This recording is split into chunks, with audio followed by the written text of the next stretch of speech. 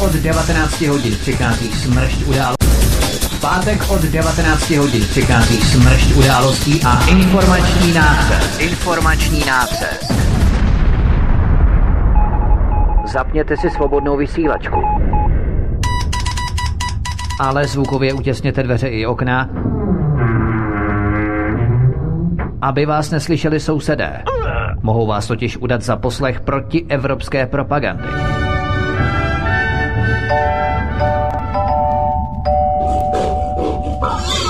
Proto buďte tuctoví, všední a hlavně nevybočujte. Pokud vystrčíte svobodně hlavu, nemilosrdně vás pokosí motorovou pilou. Demokracie? Ano, ale pouze ta po jejich. Proto zapalte svíčky, kupte pár plišáků a semkněte se s námi v boji proti bruselskému terorismu. Šéf-redaktor z pravodejského portálu Ironet.cz pan VK komentuje aktuální události posledního týdne na vnitrostátní i zahraniční politické scéně. Z ganze Čechische Volk jistajíme simulantní pande. Zákulisní informace, které se nám vždy nemusí líbit. A komu tím prospějete, co? Geopolitické analýzy, rozvědky, zpravodajské služby. Buďme napřed ve vnímání informačního pole řídících mocenských procesů. Mocenský tenzor je neúprostný. Máte zaseknutý kompas na západ? Každý pátek od 19 hodin si k nám přijďte pro nový, protože nám funguje na všechny čtyři směry.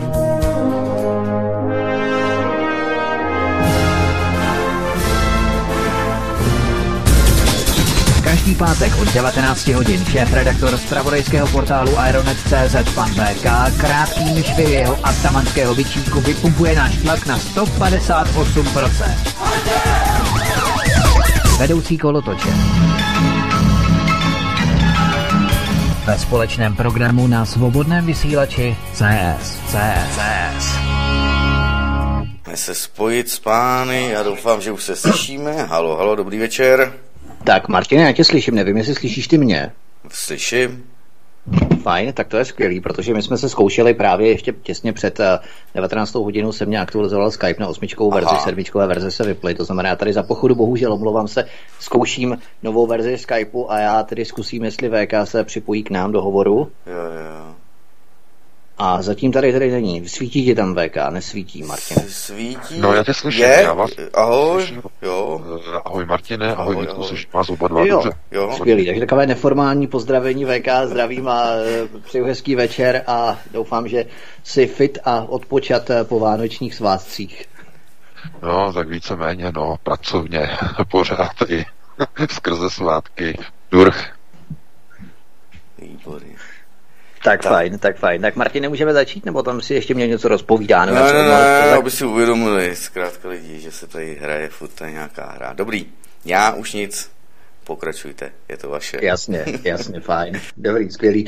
Tak ještě jednou já vás vítám poprvé po vánočních svátcích. Eh, My jsme rádi, že jste nám zachovali přízeň rok následující, to znamená tento rok 2019, který bude stejně tak eh, byly nějaké samozřejmě události, ale doufejme, že budou i mnoho pozitivních zpráv tento rok. Ale začneme jednou informací, jedním incidentem, který se přihodil v české televizi. Česká televize totiž opět způsobila další ostudu a roztržku. Incident v pořadu Fokus Václava Moravce způsobil jeden z hostů, František Vrabel, který za souhlasu moderátora zaútočil proti čínskému koncernu Huawei výrokem, že Česká republika by se měla vyhnout síťovým technologiím Huawei a měla by raději používat technologie od západních firm.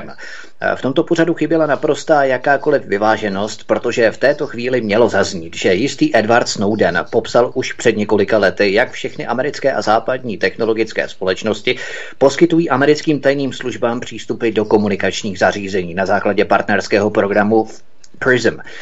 Kromě tohoto, tento přístup nemají pouze americké tajné služby, ale celkem pět různých zemí, které v programu Five Eyes sdílí přístupy a informace ke komunikačním zařízením všech zemí světa. Probíhali jsme to detailně v pořadu 21.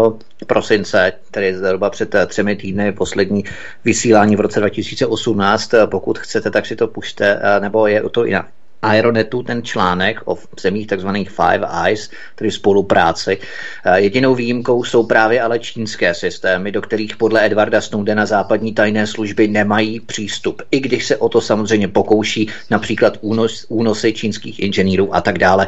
Eh, VK, co se přihodilo v té české televizi, proč tato debata způsobila takovou ostrou kontroverzi? Protože ty si v článku popisoval, že i čínská ambasáda to probírá. Ano, samozřejmě. Eh, já teda bych chtěl samozřejmě přivítat všechny naše posluchače a čtenáře CZ v novém roce, abychom, abychom, abychom to takhle zahájili. Ale co se týče vlastně této eh, kauzy, tak eh, ten pořad, zmíněný Fokus Václava Moravce, vlastně byl koncipovaný jako jakási ideologická nalévárna pro diváky na české televizi, kde měl být koncern Huawei vykreslený jako nějaká bezpečnostní hrozba. Celý ten pořad se týkal takzvaných dezinformací. Eh, byly tam eh, na přetřesu jak dezinformační servery, to znamená pro ruské servery, to znamená my, to znamená vy, eh, byly tam informace o alternativní medicíně, o homeopatikách a tak dále a tak dále, to znamená všechno, co jakoby jde do alternativy. To znamená mediální alternativa, léčitelská alternativa, alternativní informace, zkrátka všechno v alternativě. A a když došla řeč eh, právě na bezpečnostní hrozby, tak se hned automaticky diskuze v pořadu přepla na firmu Huawei. Protože všechno, co se teď děje, všechno, co vidíte okolo sebe momentálně v České republice, tak eh, se všechno točí okolo technologie 5G nebo 5G. A proč je to tak důležité? To si přečtete ve všech těch článcích tady ten týden. Já jsem napsal asi tři články tady ten týden na téma 5G, protože e, něco se děje. Je nový rok, 2019. Můžeme si dát ne předsevzetí, ale proroctví. Rok 2019 bude rokem, který bude plný změn. No, to můžeme říct o každém roku, ale tenhle ten rok bude výjimečný. Protože nastane kolaps amerických mocenských sil v Evropě. A 5G je počátkem konce americké e, světovlády. Proč? Z jakého důvodu? E, všichni vidíte, co se děje okolo 5G. E, dnešní den, my to ještě budeme probírat samozřejmě za nějakých pár minut nebo desítek minut, v Polsku byl zatčen místní šéf polské pobočky Huawei, No, ty informace, které jsme dostali, jsou zase jinak, jsou jiné. Ukazuje se, že to vůbec nemá nic společného s Huawei, nebo řekněme s jejich telekomunikačními systémy. Eh, tajná služba eh, polská, polská média uvádí, že se, že se to týká víceméně kriminální činnosti, kdy eh, aby získal odměny za uzavřené kontrakty, tak získával telefonní čísla od eh, jednoho Poláka, zaměstnance eh, Orange, eh, to znamená Orange Poland nebo Orange Polsko, což je jeden z největších operátorů, mobilních operátorů v Polsku. To znamená, tento čínský šéf polské pobočky Huawei si našel člověka u polského Orange a aby mu dával telefonní čísla na vybrané obchodníky, na vybrané silné eh, obchodní partnery v Polsku, které by potom následně mohl kontaktovat a nabízet jim produkty Huawei a za uzavřené kontrakty by měl potom od mateřské společnosti Huawei odměny za uzavření kontraktu. No, to znamená, že je to věc, která má hodně společného s lobbyingem. To znamená vydělávání peněz za uzavírání zakázek. To znamená, nemá to nic společného se špionáží. Nicméně eh, znovu se ukazuje, že Čína umí dělat biznes a američané neumí nic a ztrácí eh, kontrolu nad komunikačními systémy v celé Evropě. Eh, dva největší polští operátoři, T-Mobile, tedy původně tady německá firma, která provozuje síť v Polsku, tak i Orange si vybrali společnost Huawei pro první pilotní testování 5G sítí v Polsku.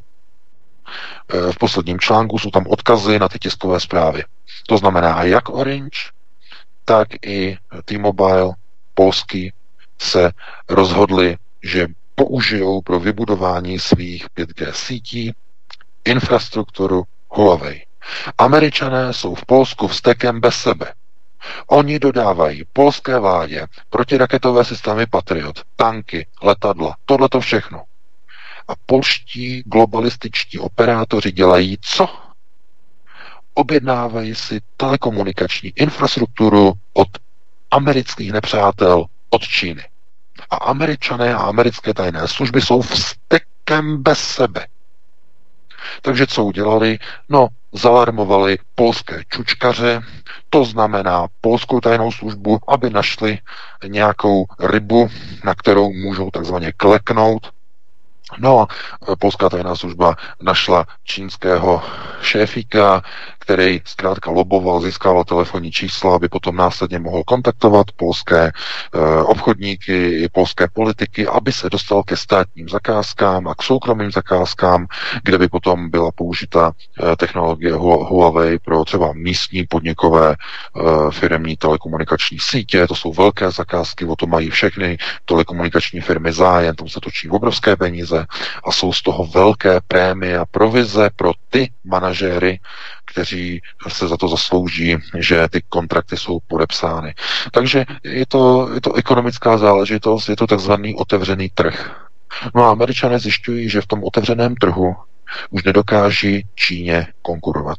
Protože, jak uvedl eh, pan prezident Zeman včera eh, u Jaromíra Soukupa eh, na TV Barandov, tak eh, Čína nebo Huawei nabízí technologie, které jsou až čtyřikrát lacinější než e, síťové technologie takzvaných západních partnerů, než jsou západní nebo americké telekomunikační systémy čtyřikrát lacinější. No tak potom se nemůžete divit, že i dva největší polští operátoři telefonní nebo mobilní, že používají pro vybudování svých 5G sítí e, systémy a technologie Huawei. To je potom logické. No a co můžou dělat američané?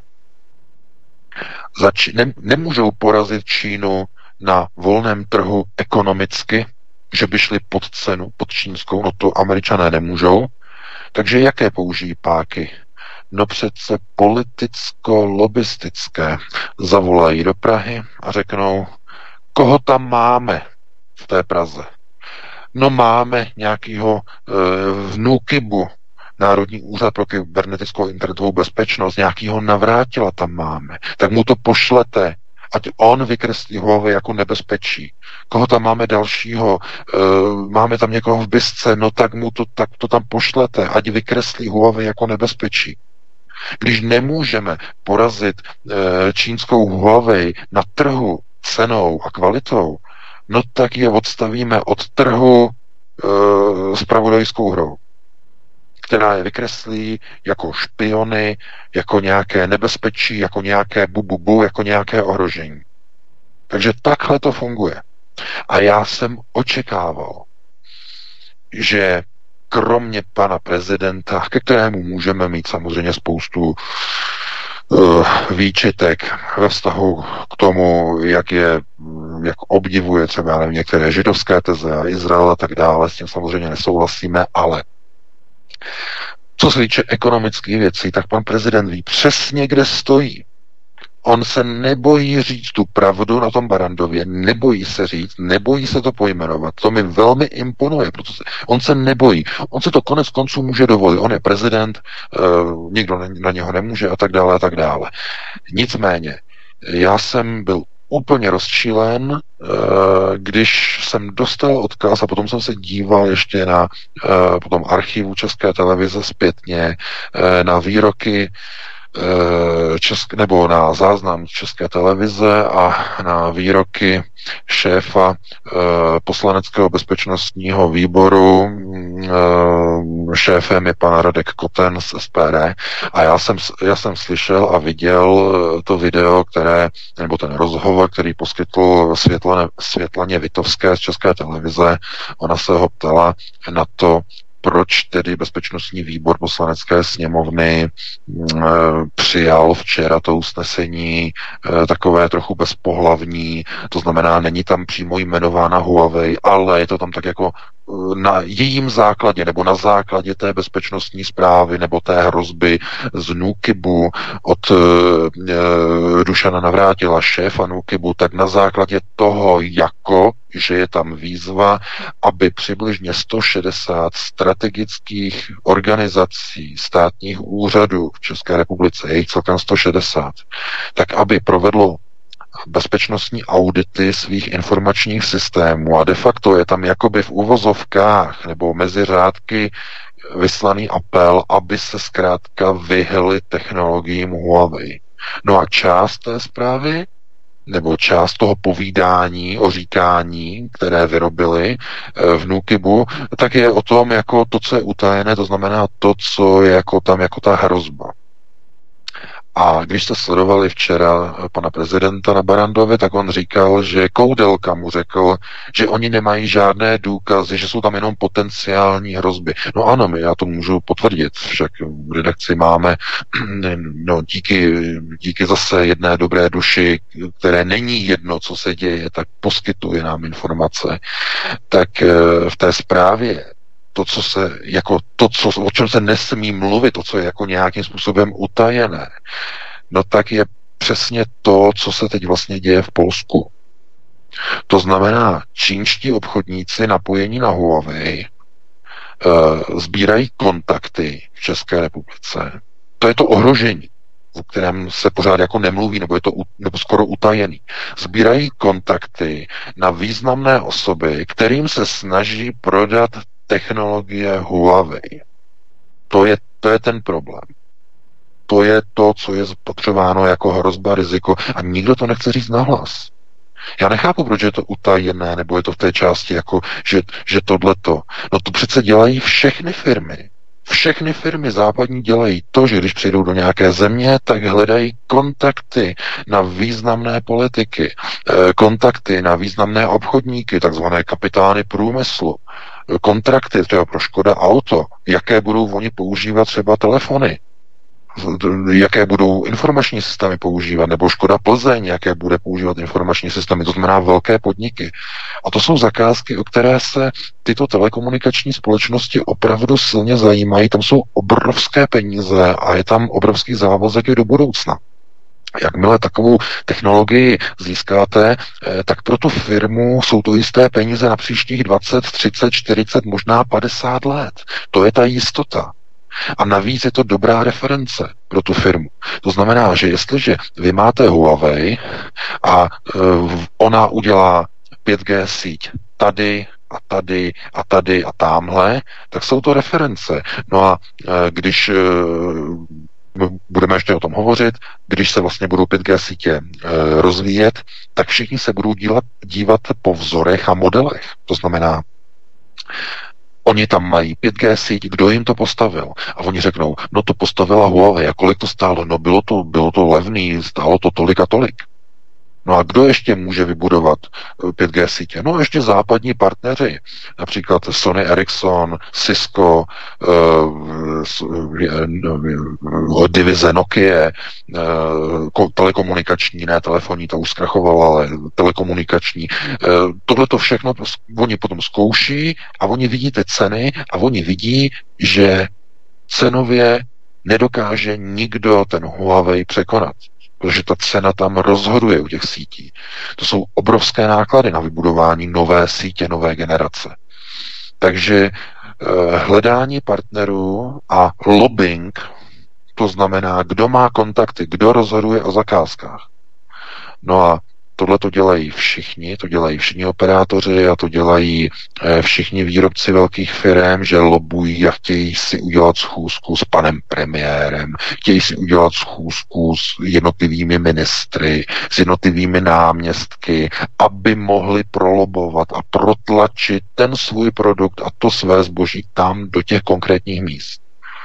No a proč to můžou dělat všichni a proč to nemůže ale dělat Huawei?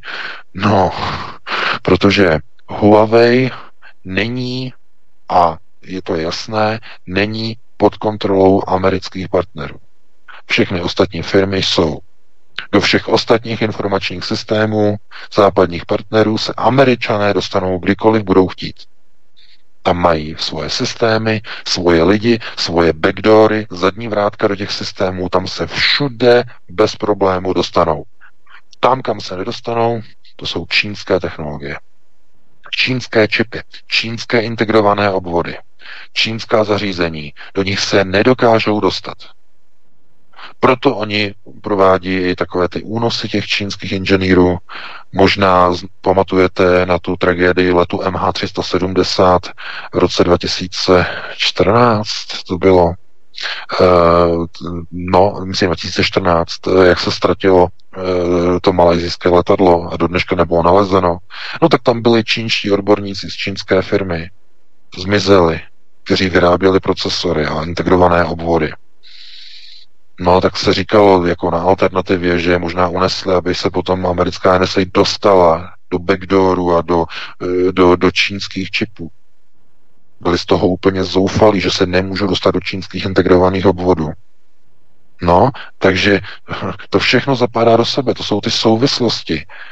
No a já bych právě očekával, že tohleto, když na alternativě vědí lidé a vědí to i politici, že se proti tady té manipulaci postaví a že nebudou se připojovat proti hysterii, proti Huawei a nebudou se stavět uh, proti hysteriím, uh, proti Rusku a hysteriím proti komukoliv, když je naprosto jasné a evidentní, kdo zatím stojí. Takže já jsem taky očekával, že SPD spolu s KSČM, že bude proti, protože je to naprosto nesmysl. Je to zinscenované americkou lobby v České republice, která zkrátka vidí, že přichází o zakázky, že přichází o vliv a že jí hrozí, že ztratí kontrolu nad telekomunikačním prostorem nového věku, nad, na, nad 5G sítěmi. Protože zatímco v Polsku už jsou vepředu před Českou republikou, protože Česko je specifická země, e, tam se občané a zákazníci dojí a dojí a dojí, dokud to jde a teprve, když eh, už to nejde, tak se teprve začnou stavět nějaké nové sítě. No, takže 5G se kdy bude v České republice, to není jasné, eh, ale ono to je i z jiných důvodů, protože je tam, eh, jak říkám, Praha je centra světového židovstva, oni nechtějí, aby tam bylo tolik zářičů 5G, No, protože to způsobuje, fer, eh, způsobuje to neplodnost, impotenci, to záření. Eh, to je zase ten článek ze včerejška, to jste si možná už přečetli, eh, kdy američtí výzkumníci měli dlouhodobý výzkum, který trval 20 let a sledovali vlastně vyzařování a radiaci z mobilních věží a testovali ji na laboratorních krysách a ten výzkum skončil vlastně s tím poznatkem, a byl publikován, že vlastně způsobuje eh, v samcích eh, krys způsobuje rakoviny, nádory, neplodnost. Takže oni to nechtějí možná ani v Praze, eh, protože Svatava, protože Dům Sion a tak dále, protože jsem o tom hovořil několikrát. Chirurg nikdy neoperuje na vlastním těle. Takže oni některé prostory budou chtít zachovat bez vlivu. Abych to řekl takhle kulantně. Bez vlivu 5G. Budou chtít zachovat. To by bylo na jinou diskuzi. E, samozřejmě, že ani Praha není samonosná, protože jsou tam že a že, malé a velké. Oni to budou chtít mít takzvaně zglajšaltovaný, to je ten, to je ten nový proces, který vlastně přichází, to znamená, e, že je napůl ano, napůl ne, chytrá horákyně. To znamená napůl jo, napůl ne. Kdo se takhle chová, který politik? No, tak typik, typickým zástupcem je Andrej Babiš. Na půl ano, na půl ne. Jo, ne, jo, ne. Jo, to znamená to, co je mu vyčítáno. On jednou řekne to, druhý den už to platí jinak. To a to, to a to, levá, pravá, levá, pravá. Pořád dokola, ode zdi ke zdi. Ano, ne, ano, ne. No, protože on nemůže jinak. A já, když jsem se díval na pana Kotena včera, tak já jsem viděl Andreje Babiše. Povídání o říkání. Alternativa Hader pryč. Funus pohřební věnec. Takhle totiž alternativa jde do kytek, protože takovéhle bezpohlavní výroky, e, politická nevyhraněnost, politické neukotvení, snaha zglajšaltovat vlastní politiku, politiku SPD, stejně jako je tady německá politika AFD. Naposledy byla AFD alternativní stranou tady v Německu v době, kdy šéfovala Frauke Petry. V okamžiku, kdy po skončení voleb, tady myslím německých, kdy, kdy na tiskové konferenci v den uzavření eh, nebo vyhlášení výsledků, kdy se vzdala funkcí a odešla, tak AFD jde do kytek. Stává se z ní zglajšaltovaná, mainstreamová, pro angelovská a pro jaksi zmainstreamovaná strana. Eh, oni, aby ještě více vlezli do pozadí, že a že, teď mluvím o AFD, tak založili divizi, pobočku AFD e, pro že není, sioni, že není antis, antisemická, tak za, za, založili speciální pobočku nebo divizi určenou pro židovské členy. To jste možná zaregistroval. To znamená, snaží se... Z, eh, je, je trošku rasistický, ne, jenom pro židy. Ano, přesně, je, no je to rasistický, ale já chci říct jednu věc. Kolega taky říkal, no teď už jenom chybí, aby udělali, udělali aby aby někoho nepopudili, tak je třeba, aby to vyvážili a udělali ještě pobočku pro migranty. No a potom už je budou volit všichni. Potom už budou jako mainstreamová strana. Durch úplně jako mainstream. To znamená, že eh, znovu, oni říkají o AFD, že je řízená opozice. A já jsem tomu nevěřil, já jsem říkal, jako, že oni tam mají různý lidi, tohleto, tohleto, tohleto. Ale když se Alice Weidel a uh, Alexander Gauland, když se dostali k moci, oni dva to vedou jako v tandemu, oba dva, no tak když na ně začala vyplouvat ta informační realita, že ona je Eh, tohleto, že ona je lesbička, což jako to byla rána, ale co, tak nikdo to neřešil. Jako jo, Dobře, ale budiš. A potom na ní vyplulo to, že pracovala pro Goldman Sachs. No, to už bylo přes čáru pro mnoho lidí. Ale to nebylo všechno. Když se zaměřil, zaměřil hledáček na Alexandra Gaulanda, tak se zjistilo, že je členem a přispěvatelem a redaktorem Rotary magazínu, to znamená Rotary klubu. To, to je, to je uh, klub, elitní klub, židozednářský klub. Takže oni se na to dívali a oni nerozuměli tomu, jako, jak je to možné. On je rotarián. No, tak a vyplovalo to, no před několika měsíci to na něj vyplovalo. To vyhrabali to někde na internetu, tohleto, že je rotarián. Tak hlavně on působil ještě v CDU dříve, ještě navíc. A, no, no samozřejmě, ale to, to, takhle tady pro Němce je to, to je něco jako když byl v ODS a dneska je někde jinde, třeba v SPD a tak dále. A, e, pardon, aby jsme přímo nějak jmenovitě ne, ne to ne, neukazovali. Já, No, no, no, ale to, tak, takhle, takhle se na to dívají Němci, jako jo, že někdo byl v CDU a najednou je v AFD a to je něco jako když někdo byl v ODS a přešel třeba v České republice do SPD. Jo, takže tak se jako tak na to někdo dívá jako uh, s křivým pohledem, někdo, někomu to nevadí a tak dále, to nebudeme komentovat. Ale uh, když vlastně se ukazuje, že v čele oni mají de facto dvě figury, které do určité míry jakoby rozhodně nemají nic společného s alternativou, no tak najednou začalo lidem docházet, proč ta Frauke Petry e, nad tím zlomila hůl a odešla. A proč to nekomentovala? Proč mávla rukou a řekla, že pryč? No. A co to znamená? No, řízená opozice. To znamená, nespokojí Němci, kteří chtějí změnu. Co s něma udělat? Když je takzvaně neobsadíme, teda containment, neobsáhneme, nezadržíme, nějak jen e, neschrneme dohromady pod nějakou kontrolu, tak oni udělají nějaký převrat, nějakou revoluci, nějaká povstání. To nemůžeme dopustit. Takže co se udělá? No, alternativa. A kdo má nejvíc? Ke komu se nejvíc oni připojují. Takže oni zjistili, že nějaká AFD, no a AFD pomalu byla infiltrována infiltrována různými gaulándy, byla infiltrována různými, uh, různými uh, Alicemi Weidel, byla infiltrována různými dalšími z různých kruhů a když přišly volby a když skončily volby, tak zkrátka už v té době byly uvnitř AFD takové určité posuny ideově ideologické, že Frauke Petry řekla, ne, na tom já se účastnit nebudu.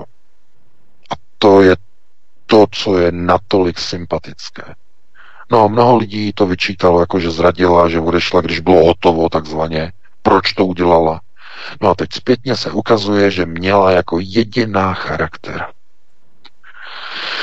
Proto já se obávám, aby hm, alternativa nedopadla jako s pohřebním věncem, jako tady AFD. To znamená, že e, budou pronášeny výroky a politické kroky, které budou SPD přibližovat k mainstreamu.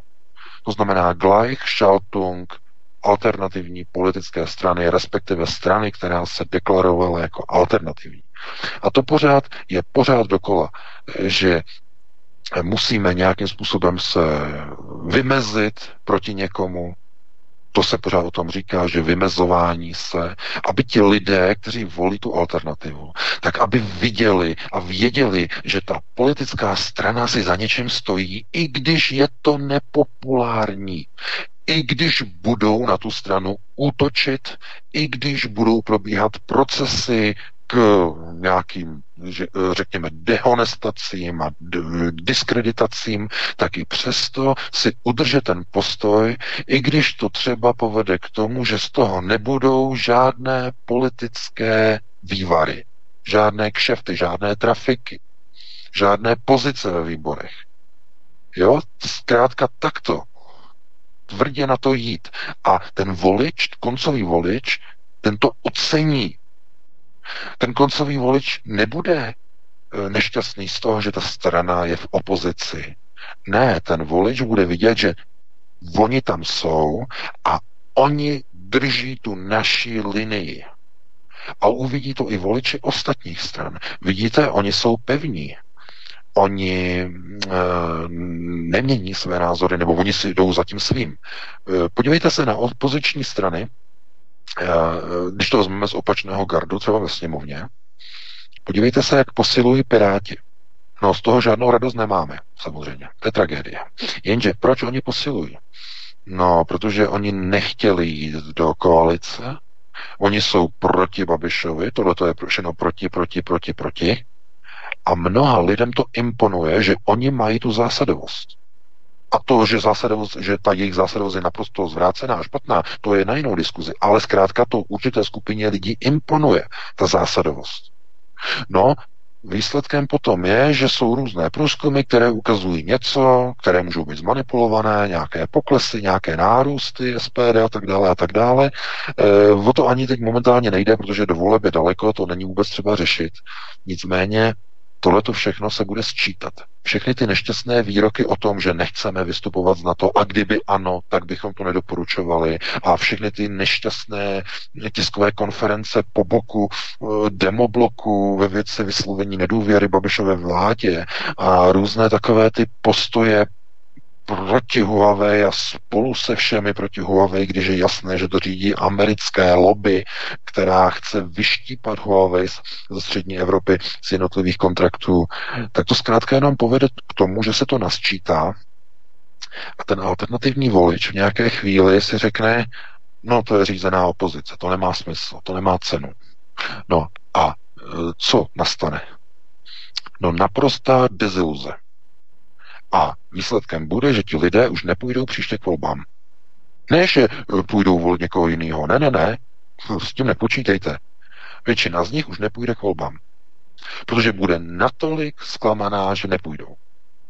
No a přesně o tady to jde globalistům. To znamená, odpor opozice je třeba i řídit.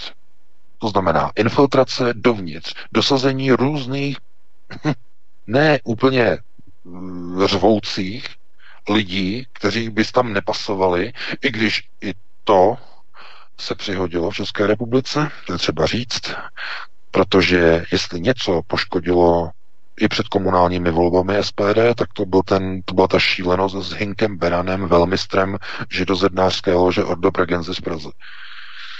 To do dneška dostávám e-maily o tom, že proč, proč k tomu tak došlo, kdo, kdo to řídí vlastně. Kdo to řídí. Jo, dotazy, kdo to řídí, kdo to tak jako našteloval a e, na, vymyslel a promyslel. No já, to, ne, já na to odpovídám jednoduše. Tak se podívejte tady do Německa na AFD. E, když Gauland e, podle těch posledních informací těch neonacistických webů, o kterých si můžeme myslet cokoliv, je to nejhorší nebo nejlepší podle toho, jakou máte politickou orientaci, ale oni na něho vyhrabali, že má kontakty na londýnskou zednářskou loži Ordolu Menzis, přímo na Rothschildy. No, že tam měl s nimi kontakty. A navíc je Rotarián. A je, je spolupředsedou AFD. A potom se podíváte do České republiky a vidíte, že někdo se snažil dostat na čelo kandidátky v Praze Hinka Berana, velmistra e, pro změnu pražské zednářské lože. To je tragédie. Chápete? To nemá nic společného s alternativou. To je proces Gleichschaltung, to je zmainstreamovávání alternativy, to je řízení opozice. A potom, já když slyším pana Kotena, kterého jsem si vždycky vážil, předtím, než proběhly určitě nějaké tady ty poslední změny, v politickém nastavení jakoby směřování SPD, že nebudeme vystupovat z EU, zkusíme, eh, zkusíme ji změnit zevnitř a reformovat zevnitř. To byl ten, ten siest, který e, měla SPD, Lepénová a e, Gert Wilders v prosinci 2017, co si možná vzpomínáte, v Praze to bylo, tak tam došlo ke změně. To bylo vlastně kolik dva měsíce po volbách parlamentní České republice, tak v prosinci to měli v Praze a tam se vlastně dohodlo tohleto. Od té doby uh, se řídí jako, jako SPD jako nějakým zvláštním takovým étosem, který už nemá jako moc uh, jako společného, uh, řekněme, s tím. A tak teď jsme vypadli. Slyšíme se? Ne, neslyšíme, VK koukám vypad úplně. Tak VK vypadl úplně, doufám, že si toho všiml a bude konat nějaké opatření pro znovu obnovení spojení. Možná, Martin, bychom si mohli asi zahrát, protože stejně se blíží 20. hodina a během toho a asi skončíme, ob, zkusíme obnovit Jasně. spojení. Co to je na to? Dobře, půjšťám. Fajn, skvělý. Jdeme Já to, to položím a potom zase ti zavolám znova. Dobře, dobře. Tak dámy a pánové, Zase zajímavé snad písně. Tak, dámy a pánové, jdeme. A, už vás slyším a nevím, proč se mi to tam vracelo. Tak, a, Martine, slyšíme se? Ano. Tak a kontrola spojení ještě s panem VK. VK, slyšíš? No, slyším, no, slyším dobře, slyším dobře. Skvělý, tak doufám, že pofrčíme další hodinu bez přerušení, protože tam nastala nějaká problém, nějaký problém v autentifikaci neautorizovaného volání, tam vyskočilo v rámci toho nového Skypeu, tak nevíme, zda to bylo způsobené americkou infrastrukturní technologií v České republice, protože to přece jenom není Huawei, tak eh, nevíme, kde byl problém, ale snad to bude v pořádku. Um, Možná já bych ještě navázal, uh, VK, ty si hovořil o AFD, o Alici Vajdelové a Alexandru Gaulandovi a Glaukšaj, Glau, Glau, respektive zmainstreamovávání AFD. Já bych možná jenom navázal na skutečnost, kdy i třeba, a to se velmi často, respektive velmi málo ví, eh, protože dříve šéf strany UKIP, to víme, že byl Nigel Farage, ale na konci září 2017 byl zvolen nový šéf strany UKIP, Henry Bolton, eh, bývalý poslanec za euronačenecké liberální demokraty mimochodem, s kariérou profesionálního, profesionálního byrokrata v Organizaci spojených národů OSN, United Nations – a tento byl zvolen do čela strany UKIP, typický multikulturní představitel elit, který hlásal mimo jiné otevření hranice a neomezenou migraci. Ale ještě podivudnější je skutečnost, že tohoto Henry Boltona, aktuálního šéfa strany UKIP, do té funkce protlačil sám Nigel Farage takže to jsou jenom takové střípky, kdy si opravdu můžeme uvědomit, že ta řízená opozice není zase tak až daleko od pravdy. Uh, nicméně, abychom se posunuli dál, právě ty si VK zmínil před eh, písničkou uh, NUKIP, uh, kdy čeští poslanci kontrolního výboru pro činnost Národního úřadu pro kybernetickou a informační bezpečnost znovu probírali toho čínského výrobce značky Huawei, jenomže k ničemu se nedobrali a závěrem byla ta výzva státních orgánů, kterou si citoval nebo interpretoval uh, že aby dobře zvážili dodavatele telekomunikačních systémů. Huawei prý do budoucna představuje hrozbu, ale žádné konkrétní věci a obvinění Huawei eh, nebyly poskytnuty. Eh, poslanci opravdu kroutili hlavami a nerozuměli, v čem vlastně ten problém spočíval. Eh, ale když se potom vrátíme do Ameriky, a to bychom mohli, tím bychom mohli začít tuto hodinu, protože to je velmi důležité, abychom si to uvědomili, protože 15. listopadu 2018 americký telekomunikační úřad udělil firmě SpaceX Alana Muska celosvětovou licenci na pokrytí celé planety Země americkým 5G telekomunikačním signálem pro vybudování Maskova celosvětového internetu zvaného Starlink. Jehož provoz zajistí celkem 7 tisíc satelitů na velmi nízké oběžné dráze planety Země, které eh, na velmi nízkou oběžnou dráhu vynesou rakety Falcon Maskovy firmy SpaceX. Eh, Američané si tedy potichu přivlastnili 5G satelitní frekvence pro celosvětovou internetovou síť eh, s názvem Starlink. A tady právě hledáme ten základ hysterického jakotu kolem Huawei. Jak tato informace s Huawei vlastně souvisí? Protože ty jsi tu zmiňoval Polsko, které si právě na tuto 5G, 5G technologii najelo Huawei místo tedy americké struktury. To znamená, že 5G frekvence si sice přivlastnila Amerika, respektive Spojené státy, ale lze na nich vlastně budovat i eh, čínskou technologii, infrastrukturu.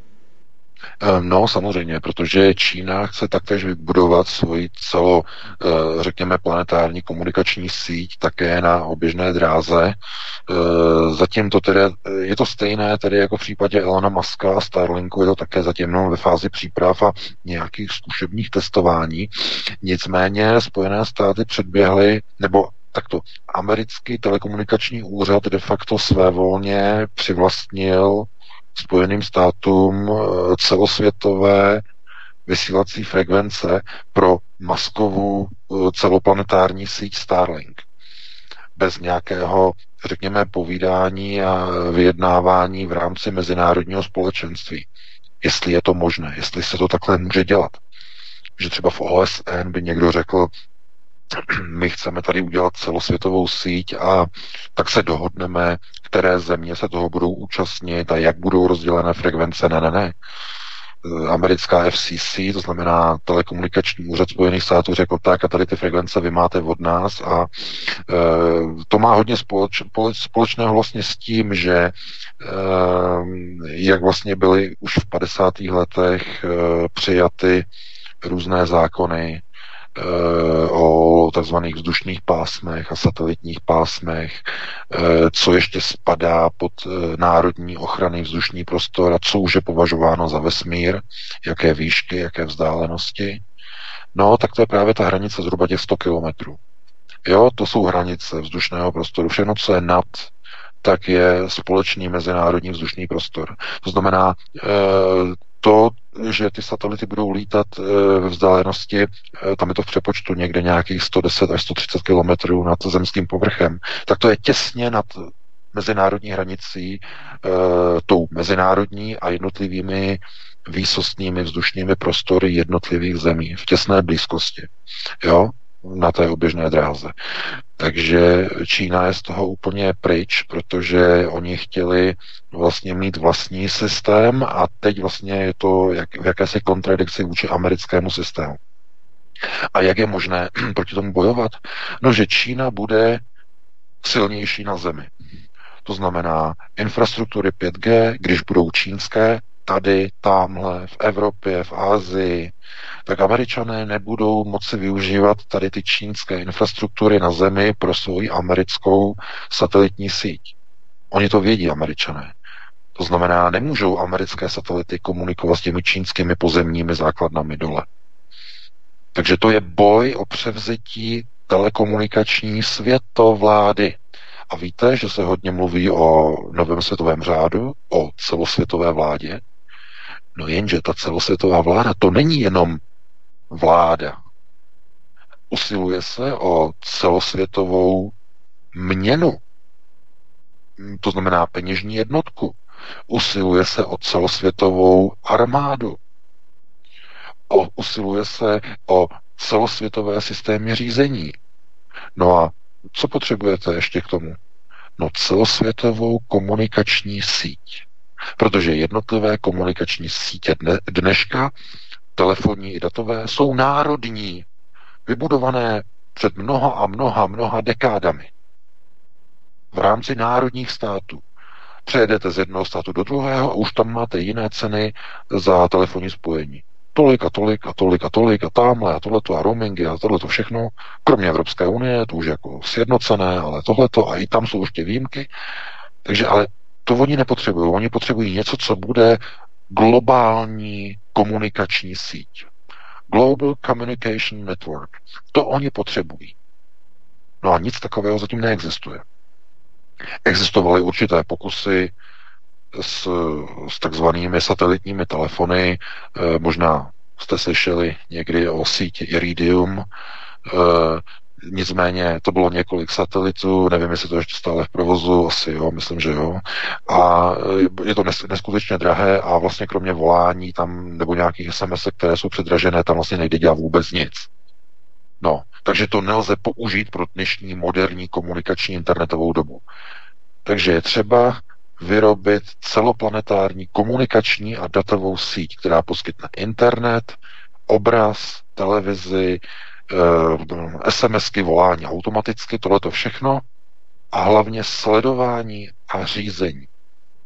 Protože vzhledem k technologii, jakou používají 5G technologie, půjde de facto Můžete si to představit jako o obrovskou síť, která bude ozařovat celou planetu. Poměrně značným výkonem z té uh, orbitální dráhy. Protože ty frekvence, které masková síť Starlink dostala od amerického telekomunikačního úřadu, uh, se nacházejí v milimetro, to jsou milimetrové vlny v rozsazích okolo 40 GHz tam je to vypsané v tom článku, v té tiskové zprávě, okolo 40 do 45, tak nějak eh, je to tam eh, vypsané. No, to znamená, eh, že i ta technologie vlastně má svá značná omezení, to znamená, pokud výkon vysílače není dostatečně silný, tak ty milimetrové vlny nelze protlačit skrze pevné překážky. Aby byly protlačeny, musí být výkon vysílače zesílen velmi značně. To znamená, proto, když se podíváte na to video eh, ze včerejšího článku na Aeronetu, kde vlastně je ukázáno, jak vypadají ty malé mobilní věže rozmístěné v Kalifornii, eh, před okny, de facto několik metrů před okny ložnic eh, majitelů bytu, mají tam ložnice a před okny ložnice mají postavený stožár a tam budou vysílat si tyhle ty jednotky 5G, které, které jim budou vlastně zářit přímo do pokoje. 24 hodin denně. No, takže ta technologie sama o sobě de facto je technologií radiační, to znamená, aby e, chom dneska se dokázali na to podívat tak jako z jakého důvodu a proč, no tak největší limitací dnešních sítí to jsou ty staré 2G sítě, klasické, pak máte 3G a 4G, ty moderní LTEčka, No tak všechny tyhle ty networky nebo tyhle ty sítě mají ten problém, že e, mají relativně ve srovnání k tomu 5G mají relativně malé propustné pásma. Velmi malá. To znamená, velmi rychle dochází k zahlcení při vyšším používání dat, stahování nějakých filmů nebo nějakých velkých balíků a tak dále, k rychlému zahlcení dochází. E, ta výhoda 5G je obrovská, de facto neomezená propustnost, takzvaná superskalarita.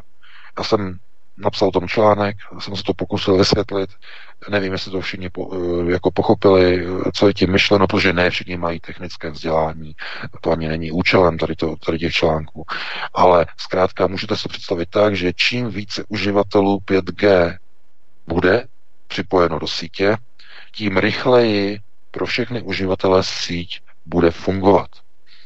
A to z toho důvodu, že každé koncové zařízení 5G bude nejenom přijímačem, ale bude i vysílačem. To znamená, bude moci fungovat jako mobilní komunikační jednotka pro ostatní uživatele. V tom je ta převratnost 5G technologií. To znamená neomezený růst. 5G sítě, neomezený růst. No a slovo nebo spojení termín neomezený růst, to už jste někdy asi určitě také slyšeli ve spojení s něčím jiným. Neomezený ekonomický růst. To znamená globalistické teze. To znamená, že sionisté. Proto se neustále říká, že musíme v rámci globálních ekonomik udržet eh, nebo zachovat udržitelný a neomezený a nekonečný růst. A když máte neomezený, nekonečný růst, tak potřebujete i neomezenou komunikační síť, která bude mít stejné charakteristiky, bude mít nekonečný růst.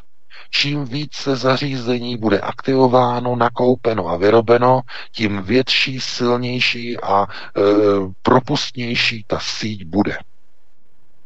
To je to, co je tou alfou a omegou deploymentu nebo nasazování nebo rozmistování e, těchto těch 5G sítí ve světě.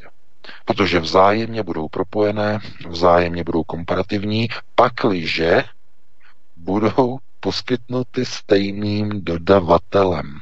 A to je ten hlavní háček. To znamená, že když bude všechno Huawei, no, tak američané utřou ústa. Myšleno jejich ekonomické zájmy, jejich firmy a i jejich špionážní služby. Utřou ústa. A stejně tak obráceně. Když budou všechny americké, tak Čína si neškrtne. Takže je to obchodní válka, můžeme říkat, nové éry, nového milénia, 5G, nebo válka o 5G. To je to, co právě v této chvíli momentálně zažíváme. No a při této válce se používají všechny metody, všechny nástroje, nejenom ty férové, správňácké, že na trhu vyhraje ten, kdo přinese nejlepší zařízení za nejnižší cenu. Hm, kde pak? To už se dávno takhle nedělá. Oni už nemůžou Čínu porazit férovými správňáckými metodami lepších produktů, no to už vůbec ne. Se podívejte, co vyrábí Apple. To, je neuvěř, to jsou neuvěřitelné věci, co, jaký pád a degradaci inovací zažívá Apple. Zastarává, zaostává. Po smrti Steva Jobse de facto jenom jako deklinace, to znamená pád, pokles inovací. To, je, to bylo na jinou diskuzi. Takže zkrátka oni ztrácí a Čína najednou, dříve to bylo vždycky tak, jako že co je čínské, to je nespolehlivé a šunty a šmejdy a tak dále a tak dále, ale to už dávno neplatí, to už dávno ne. Protože dneska všechno se vyrábí v Číně. A aby to bylo absurdní a komické, tak i ty Apple se vyrábějí v Číně. I ty Apple, i ty telefony, i ty notebooky jejich, všechno v Číně. No a co udělala Čína? Naučila se vyrábět kvalitní západní technologie, které západní partneři, kteří v 80. 90. letech přišli do Číny a otevřeli tam ty firmy, tak chtěli maximální kvalitu. A Číňané na to nebyli tehdy ještě jako připravený. Um, oni, jako byli, oni uměli kopírovat, ale ne kvalitně. Jo, ne kvalitně, ale to se změnilo, to už je pryč. Oni se naučili západní postupy, naučili se západní management, řízení zdrojů. To se naučili na západě. A najednou američané zjišťují, my jsme naučili našeho nepřítele úplně všechno, co jsme uměli my, my už neumíme nic a on, oni umí všechno. No a všichni bijou na poplach. Američtí partneři v uvozovkách. No na tady to si musí dát pozor každá vyspělá společnost, každá civilizace. Protože jestliže budete mít nějakou, nějakou eh, kulturu, která se chce učit od vás, všechno, co umíte, no tak tím riskujete, že ona se naučí všechno a tím, že bude umět všechno, tak vás dokonce může i předběhnout v technologickém vývoji a tak dále a tak dále. Takže v této chvíli už nelze proti Číně nebo proti čínským firmám bojovat e, takovými těmi férovými metodami na otevřeném trhu, ale používají se zákulisní metody. To znamená lobbying skrze politiky, skrze tajné služby. Američané mají kontakty na tajné služby západních partnerů všude. Jenom zvednou telefon nebo pošlou přes zabezpečený kanál a řeknou e, čučkařům, udělejte něco a vykreslete Huawei jako nepřítele, jako bezpečnostní hrozbu. Oni mají ty svoje marionety. Takže, a to samé Polsko. No a e, kdo to, kdo jediný má odvahu to pojmenovat? No tak kromě nás, kromě alternativy, Kromě mě je to pan prezident, no, a kdo ještě? Napadá vás někdo? No, tak určitě pan Zdeněk Kondráček z KSČM, ten také má odvahu. No a, a potom kdo? No, potom už těch lidí moc nenajdete. Z těch politiků, myšleno, kteří jsou aktivně politici, politicky aktivní. Teď nemluvím třeba o různých dalších autorech na alternativě a e, redaktorech, to samozřejmě ano, to je bez pochyby, ale pokud mluvíme o politicích, tak už nikdo další. No a to by někoho, u někoho by to mělo rozsvítit varovné červené světlo, že to je špatné. To je málo soudruzy, jak se říká klasicky z toho filmu nebo z té, z té povídky, to je málo soudruzy. No a je to málo, samozřejmě. Protože eh, pokud jako se bude někdo dívat na to, že tady probíhají nějaké procesy, jak eh, s pravodajskou hrou odstavit nějakou firmu, která chce de facto pomoci vybudovat moderní technologii, i když ta moderní technologie je s obrovským vykřičníkem ve vztahu ke zdravotním rizikům, to je třeba zase zdůraznit na druhé straně, tak zkrátka musí být někdo, kdo se postaví a kdo řekne, že tohle je úplně jinak. A neříká se nám pravda. A zkresluje se. A dezinformuje se. No a když česká televize odvysílá takový pořad, jako je Fokus, kde jistý odborník, pan Vrábel řekne, že, že by se neměly používat technologie Huawei, ale raději technologie od západních partnerů. No tak si člověk připadá jako ublbej. To přece logicky člověk musí vědět, že v tom není rozdíl, pokud někdo chce špehovat, tak špehuje skrze americké systémy, nebo skrze čínské, nebo jakékoliv, podle toho, komu to zrovna vyhovuje a kdo má jaké informace. Není to o tom, že uh, by, já nevím, že by třeba nevím, Česká televize měla být objektivní. Všichni víme, že už dávno není a zřejmě ani nebude, dokud nedojde k nějaké zásadní reformě k čemuž by mě musel být politický apel, politický impuls, no a volby dopady, jak dopadly, a nějaké apely k reformě České televize nevidíme ani v poslanecké sněmovně, že by se někdo o to zasadil, že by někdo zatlačil třeba na Andreje Babiše, třeba ze strany, třeba zrovna i KSČM, že by nějak mu to dali takzvaně na krk a řekli by mu, Andrej, udělej něco s tou českou televizi, jinak ztratíš naši důvěru. Třeba takhle nějak mu to říct. No, protože komunisté mají na něho páku díky tomu, že podrželi jeho vládu při vyslování důvěry, takže i takhle. A tím by si také zase komunisté získali obrovskou přízeň voličů. To je jedna z možností, jak zase získat důvěru zpátky komunistických voličů, kdyby se podařilo proslit reformu veřejnoprávní televizí, aby někdo konečně něco udělal s tou českou televizí, s tou neobjektivitou, nevyvážeností, protože ten fokus, ten pořad byl naprosto nevyvážený, tam nebyl nikdo z alternativy. Tam se plivalo na alternativní servery, o nás tam byl. Tam byla reportáž, že, že tyto, tyto, tyto eh, dělají eh, dezinformace, no a mezi nimi, že, že Aeronet AC24 a že dezinformační proruské servery. Zase dezinformační proruské servery. Já jsem se teď díval, já jsem procházel Eh, jako archiv a všechno. Já jsem se, a hledal jsem pro ruské články na Aeronetu, no a za, já nevím, za těch pět let, no to už bude pět let letos, je v provozu Aeronet, budeme mít výročí, a eh, tak já jsem tam našel, já nevím, nějakých eh, asi 10 nebo 15 článků z těch, já nevím, kolik jich tam, skoro přes tisíc, 1500 článků, nebo kolik jich, nevím. A e, to jsou nějaké články, prostě, které reagovaly ještě v roce 2015 na události na, e, na východní Ukrajině, kde jsme přebírali informace od ruských serverů a kde jsme komentovali věci, které se dějou na Ukrajině, no tak tam, kdybych se na to podíval jako z pohledu někoho opravdu nestraného, tak bych řekl, no tak tenhle ten článek čerpá z ruských zdrojů, tak někdo ho může ano označit za proruský. To ano. Jenže to už je dávno pryč poslední xx ehm, let my píšeme o úplně jiných událostech, o jiných věcech, ale neustále nálepkují, že jsme proruský, proruský, proruský, proruský server. A když jsme třeba, nevím, pokrývali informace ohledně kauzy Novičok, no tak jsme přebírali informace zase od západních médií. Od Guardianu jsme přebírali informace.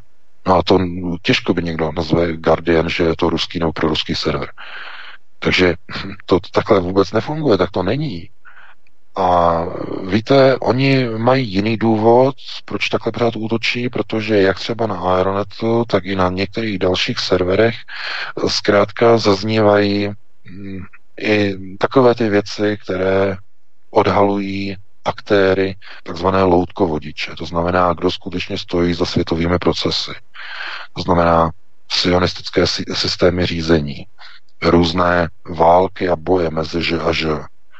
A jim to vadí, protože když se potom podíváte, že e, máte nějakou alternativní stranu, právě zmíněnou AFD tady v Německu, a najednou zjistíte, že kdo se ujal, kdo se uchopil po odchodu Frauke Petry té moci, tak tam zase a zase a zase vidíte lidi napojené na Dům Sion, to znamená Alice uh, Weidl, pracovala pro Goldman Sachs, je tohleto lesbička, no a pro změnu zase Gauland, napojení na zednářskou loži v Londýně a ještě ke všemu Rotarián.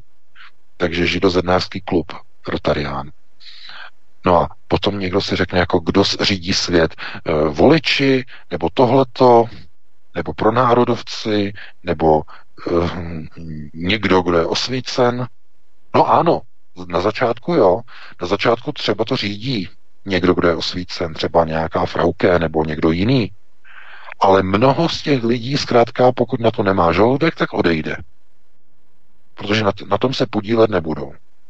No a potom máte i jiný typ politiků, kteří už od začátku jsou připraveni dopředu. Já mám velký otazník právě nad um, uh, panem, no, jak se říkal Vítku, uh, UKIP. Uh, jo, UKIP, Nigel Farage. Nigel Farage, ano, já mám nad ním prostě opravdu mnoho a mnoho prostě zkrátka otazníků, protože jeho některé výroky opravdu jsou, jak se říká, poctivé, pravé, genuine, jo. ale když se začne ukazovat nebo zjišťovat, jako, že co je tak jako zatím a různí Boltnové a další, tak najednou je prostě oheň střeše a šok, protože se ukazuje, že to bylo nějaké celé jakoby trošku cinknuté a že to nebylo úplně čisté a že někdo jakoby měl snahu, aby eh, zkrátka e, probíhaly nějaké procesy uvnitř Evropské unie, které budou dezintegrační. Někdo chce rozbít Evropskou unii. Rozděluj, rozbíjej a panuj v rámci nových systémů. No a kdo usiluje o to, aby ta Evropa tak nějak jako byla ještě pospolu, aby tak nějak jako držela a aby v rámci obchodních dohod mm, byla udržena v provozu, to znamená obchod, východ, západ. No usiluje o to Čína a Rusko v, v, v jakémsi hledaném souručenství s Berlínem. To znamená silný mocenský celek Evropa pod vedením Berlína Eh, skrze Rusko pod vedením Vladimira Putina, skrze Čínu. To znamená jakýsi obrovský globalizovaný kolos. Problém je v tom, že všechny jednotlivé ty části chtějí tu globalizaci, aby vypadala trochu jinak. Čína chce tenhle ten kolos pod svojí kontrolou, Rusko si jede vlastní globalizaci, úplně svoji vlastní, jak by to mělo vypadat, no a Evropa si zase jede svoji sluníčkovou globalizaci, vítací promigrační. No ale tohle to samozřejmě někomu nevyhovuje. To jsou určité věci, které e, můžeme říkat, že eh, představují jenom určitou nástupní platformu k něčemu, protože je ještě druhá moc a e, snaha za každou cenu vyřešit onu globální otázku, to znamená světové vlády, skrze zajištění zdrojů, kde jediné zdroje, které jsou k dispozici, tak jsou v Rusku. To znamená získání zdrojů z Ruska. No a jak? Zase dvěma způsoby to jde. E, obchodně, privatizačně, to znamená vnitřními procesy vys jelcinizace Ruska v 90. letech, převedení majetkových práv z Ruska do nadnárodních sionistických rukou, nebo i židovských rukou, to je důležité. A o to právě jde v dnešní době. Protože k majetkům v 90. letech v Rusku se nedostali, eh, i když ano, k některým ano samozřejmě, ale k většině majetků se nedostali světoví sionisté, ale místní židé, ruský židovský kongres. Oni. A to, to, byl, to je prapočátek veškerých problémů a dnešních problémů a e, útočení proti Rusku. Protože světoví sionisté vidí, že nemůžou realizovat světový systém řízení, jestliže nebude zdrojově zajištěn. No a zdroje dneska má jenom Rusko. Nikdo jiný.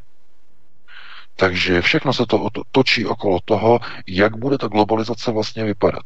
No a Čína, ta si toho není vědomá? No ta si toho je moc dobře vědomá.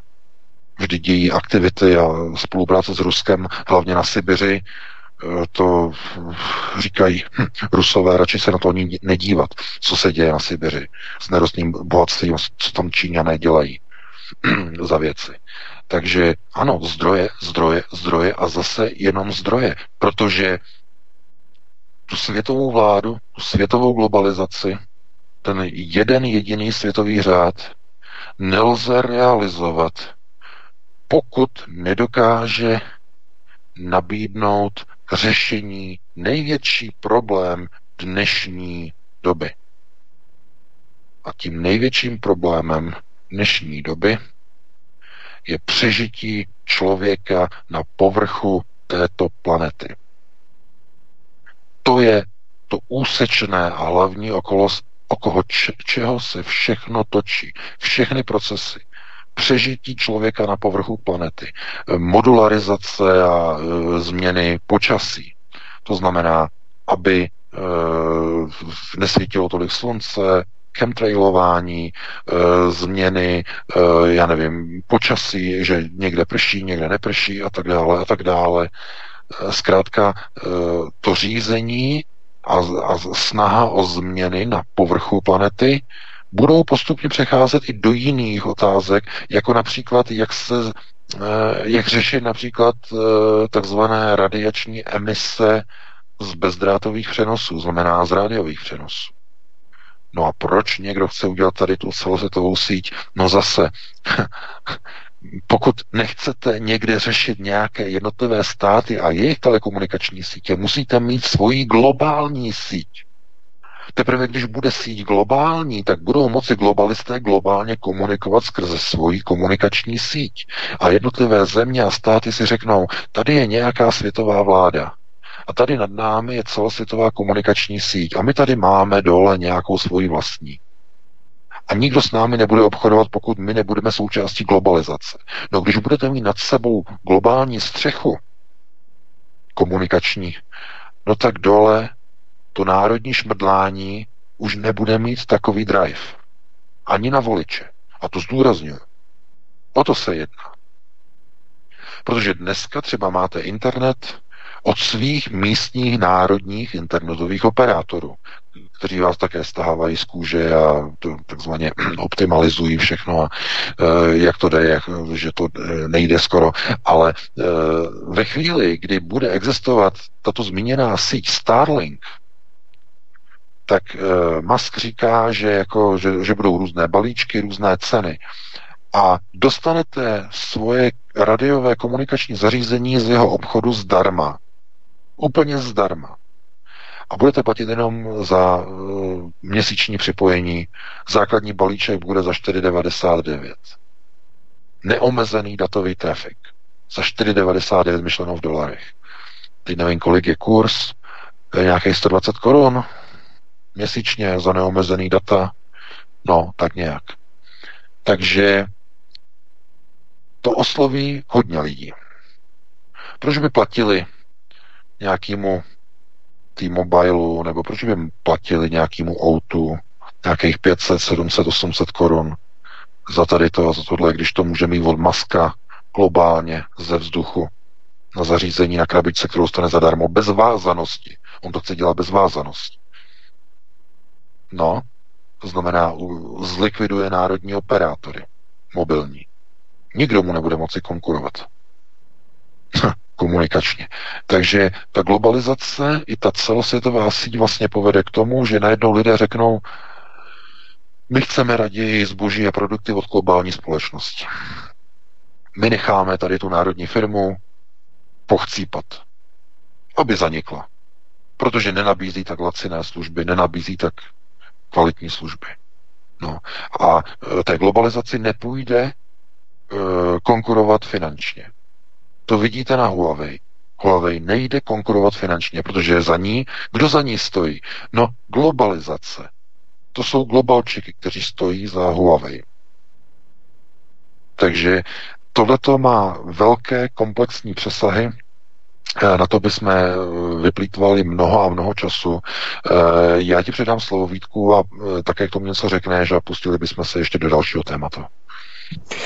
Já teď váhám, jestli se máme pustit ještě do vysvětlování nebezpečnosti a rizika spojené právě se, se zaváděním 5G technologií, ale zkusme to jenom naťuknout, protože pak tady máme ještě aktuální uh, incident v Německu, který se tam přihodil, ale americká televize CBS na jaře roku 2018 přinesla reportáž z kalifornského města Piedmont, přesně to si naťukl, teď vlastně i minulou hodinu. A já, bychom, já bych to rozvedl, protože to je velmi důležité, abychom si uvědomili. A tady místní zastupitelé na nádlak občanů zakázali americké telekomunikační společnosti Verizon instalaci nových 5G věží přímo v blízkosti místní školy a před okny rezidenčního komplexu, kde mají lidé okna do svých ložnic, přesně jak si to zmiňoval. Stejně tak americkou společností otřásla report reportáž o hasičích, kteří měli na své stanici nainstalované dvě mobilní věže a po nějakém čase se u všech hasičů začaly projevovat výpadky paměti, dezorientace v prostoru a v čase a zmatenost. Lékař u všech hasičů zjistil buněčné poškození mozku. Aby to bylo ještě skandálnější, v zemi svobody ve Spojených státech mají velmi podivný telekomunikační zákon. V čem spočívá ta kontroverze toho telekomunikačního zákona VK pro občany Spojených států? Opravdu zkus to prosím tak na pět, deset minut pak ještě no, si Německo. Ta zajímavost spočívá v tom, že američané mají přímo ze zákona zakázáno žalovat telekomunik- telekomunikační společnosti za to, nebo obvinovat je z toho, že radiové vlny a tyto věže vyvolávají zdravotní problémy a zdravotní poškození. Nemůžou, mají to zakázáno v zákoně. to je něco neuvěřitelného. To je možné jenom v anglosaském právu, normálně v evropském právu to možné ani není. Jo, veškerá poškození se nedají eh, dávat jako do zákonu jako něco, co eh, by bylo takzvaně abstrahováno od eh, funkčnosti zákona. Ve Spojených státech to možné je. Takže američané, když, já nevím, mají před domem, já nevím, vysílací věž, která je vzdálená 10 metrů před okny a já nevím, třeba po dvou letech se objeví u celé rodiny rakovina, tak oni nemůžou toho operátora s tou věží zažalovat, protože to je přímo zakázané v telekomunikačním zákonu. to je možné jenom v zemi svobody v úvozovkách myšleno. Takže ehm, ten, to riziko zdravotní riziko je jednoznačné, protože eh, jak tedy ty výzkumy eh, amerických vlastně eh, vědců zjistili na laboratorních krysách, že vlastně dochází k těmto nádorům u laboratorních krys důsledkem vlastně záření z mobilních věží, tak zároveň vlastně nález toho, že na instalování těchto vysílačů 5G signálů na hasičskou stanici vyvolalo vlastně e, změny na mostcích jednotlivých zaměstnanců hasičské stanice, jednotlivých e, hasičů. E, takže to jsou naprosto alarmující informace. No a teď si vezměte, že o tom se vůbec nemluví. Tady je sympatické na tom, na tom to, že třeba ty americké televize se nebojí o tom vysílat a e, dělat reportáže. Tady ta zmíněná reportáž to byla mainstreamová CBS, e, takže se nebojí, nebojí třeba v této věci o tom hovořit, ale kdy jste naposledy třeba slyšeli nějaké diskuze, debaty, reportáže na českých televizích o škodlivosti 5G? Nebo nejenom 5G, ale jakýchkoliv uh, sítí, i těch starších 4G, 3G a tak dále. No, neslyšeli jste. Protože to není ve veřejném zájmu. Lobistické skupiny telekomunikačních společností ovládají politické struktury i mediální struktury. Takže se o tom hovoří zase a píše jenom na alternativě. No a potom se mainstream diví, že ztrácí vliv. To je jednoduché. Protože jestliže tyto informace nezaznívají na mainstreamu, tak se tím musí zabývat alternativa, která může, které to nevadí, která nemá za sebou nějaké oligarchy, kterým by to vadilo. No, takže uh, zdravotní rizika uh, hlavně spočívají tedy v tom, jak je uvedeno v tom mojem článku, že de facto se jedná o milimetrové vlnění, uh, radiační výkon, který klesá vlastně s druhou mocninou vzdálenosti od zdroje, klasické radiové vlnění. A víte, když máte takový vysílač blízko u domu, tak to něco udělá s vaším organismem protože to jsou normálně radiové vlny poměrně značného výkonu. A hlavně, aby tedy to bylo ještě více vysvětlené, tak e, ty frekvence už jsou tak vysoké, že to milimetrové záření zkrátka má problémy pronikat pevnými překážkami. Na nižších frekvencích vlny bez problémů procházejí s dmy a budovami a tak dále. To znamená, čím nižší frekvence, tak tím lépe a snáze proniká velkými a mohutnými překážkami. Problém je v tom, že nízké frekvence nedokážou v multiplexu přenášet větší objemy dat, protože všechna data, dneska digitální data, se multiplexují. To znamená, nanáší se digitální informace do analogového signálu. Takhle si to můžete představit, ale to zase technická záležitost, nebudeme do toho zacházet hluboko. Tohle to není určené pro technické diskuze. No a e, ten 5G, nebo ta 5G síť bude umožňovat vlastně skala, ne, ska, e, skalární, nebo říkáme superskalární e, e, multiplexování. To znamená, že čím více zařízení se do sítě připojí, tím větší bude propustnost dat. To je ten základní princip neomezeného růstu sítě. To je ten zlatý grál všech komunikačních systémů. Bude to ale vykoupeno strašnou cenou a obrovským radiačním emisním spadem v uvozovkách, znečištěním, protože ty vysílače které vys- budou vysílat na milimetrových frekvencích, budou muset, muset být rozšířeny a rozmístěny tak hustě a na tolika místech, aby pronikly do jednotlivých budov, kde můžou potom svůj signál nabízet jednotlivým zákazníkům. To byl jiný pořad, eh, zase na americké televizi, já jsem tomu nedělal titulky, to už jsem neměl čas, kde vlastně ukazovali, že je mrakodrap, a oni, aby vlastně dostali ten 5G signál do té 80 podlažní budovy, tak musí každé tři patra mít na čtyřech rozích mrakodrapu jeden vysílač. To je něco neuvěřitelného. Na kaž... Máte čtyř, eh, normálně máte, je to, je to krychle, normálně mrakodrap, a na každém rohu je jeden vysílač každé tři patra protože uh, oni nemůžou přidat větší výkon do jednoho konkrétního vysílače, aby pokryl větší pásmo, aby takzvaně penetroval více podlaží z jednoho zdroje, protože by to začalo poškozovat uh, buňky v tělech živých organismů. Lidí, zvířat a tak dále.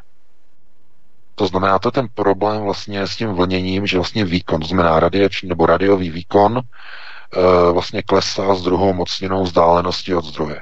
To je klasika, to máte z fyziky, z základní školy, určitě znáte. Takže eh, vy, když zvýšíte výkon vysílače, tak de facto byste se začali péct. Ten vysílač by vás začal vlastně jakoby grilovat. Takže oni to nemůžou. Ale jak teda dostat ten signál? No, že rozmístíte na daném patře nebo v daných patrech více menších a méně výkonných vysílačů. Znamená, tím se to vyrovná, ten nedostatek, ta nedostatečnost vlastně průraznosti těch vln radiových na milimetrové vlnové délce. To je tragédie. Takže oni tam právě říkali, že oni mají vlastně ten mrakodrap, tohleto a e, že jako se na to dívají jako trošku jako zvláštně, místní, že vlastně na každých třech, pat, e, třech patrech, že mají vlastně vysílač. a teď se zamyslete, jak obrovský biznis to bude pro výrobce těch vysílacích věží, těch panelů. Když na každém patře, na každém rohu v ulici bude muset být jeden vysílač o určitém jmenovitém výkonu, který nebude smět být převýšen výkonem, aby mm, někoho nezačal grilovat, takže těch, budou to stovky a stovky milionů jednotlivých vysílačů, rozmístěných 20-50 metrů od sebe. Nová 5G síť. Takže to je úplně dystopická vize, no a sami si dovedete představit, eh, že je logické, že se objevují lidé, kteří se dokážou zastavit a zamyslí se a řeknou si, pro boha takováhle obrovská eh, radiační emise, co to udělá s lidma v dlouhodobém horizontu. 10, 20, 30, 50 let. Když budou 24 hodin denně vystaveni záření těchto 5G vysílačů. Takže to vůbec ani nevíme, co, jaký vliv to bude mít. A vzhledem k tomu, že ve Spojených státech si to raději dali do zákona, aby lidé nemohli žalovat, tak si asi dovedete představit, že to úplně nebude košer. A za druhé, že někomu o to jde tolik, že to dá rovnou do telekomunikačního zákona, aby lidé si nemohli stěžovat. To znamená, to je něco podobného jako to byly dřív jako různé věci, jako že se nesmí prostě říkat, já nevím, že třeba mléko, že z mlékáren tohleto, že třeba může mít, e, když krávy za komunistů se, se pásly na práškovaných loukách, takže to mlíko není zdravý. Se říkalo tohleto. No a ono skutečně jako nebylo. No, protože ty krávy, když měly chemii a žrali chemii, no tak to mlíko nebylo košer úplně. Potom se to omezovalo v druhé polovině 80. let, ale tehdy se o tom nesmělo psát, nesmělo, bylo to zakázaný. No, a to bylo s mlíkem. No tady teď eh, soudruzi američani to dělají to samé, ale s, s mobilními sítěmi. Dělají úplně to samé. Oni vědí, že to není košer, ale dají to do zákona a nesmí se to kritizovat. Ti komunisté to aspoň do zákona nedali. E, to bylo jenom pouze v rámci nějaké cenzury, že v novinách se o tom nepsalo a když, tak tam třeba byl článek, který to takzvaně vyvracel. No, takže někdo si myslí, že je svoboda, že e, třeba ve Spojených státech země svobody, ale to už to vůbec ne, protože když se podíváte, jak, to, jak tam fungují některé věci a e, nemůžete skoro už vůbec nic a strach z terorismu a e, Patriot Act a další zákony na omezení svobody, to už nemá se svobodou vůbec nic společného. Po 11. září ze Spojených států se pomalu a polehoučku stává totalitní společnost, e, prošpiclovaná a e, navíc ještě rozvrácená různými takovými, řekněme, proglobalistickými jevy, různými antifami, různými věcmi, které vlastně rozvrací Americkou republiku. A na straně druhé jsou zase váleční fanatici a jestřáby, eh, kteří zase mají druhý extrém Amerika na prvním místě a mm, zbrojení a zbrojení a zbrojení a, a tak dále a tak dále. Tohle to nepomáhá Americe, nikdy to nemohlo ani pomoct, ale zkrátka Eh, ta polarizace společnosti tam je, stejně jako je v Evropě, jako je ve všech zemích v Evropě polarizace. No a kdo usiluje o polarizaci? Aby jednotlivé národy mezi sebou se takzvaně, no, pomlátili, nebo poštěkali a šli proti sobě, obrátit národy proti sobě ve válkách občanských. A kdo potom zvítězí. No, to bychom zase mluvili o e, těch, kteří mají velké ž a malé ž. to bychom hovořili zase o nich.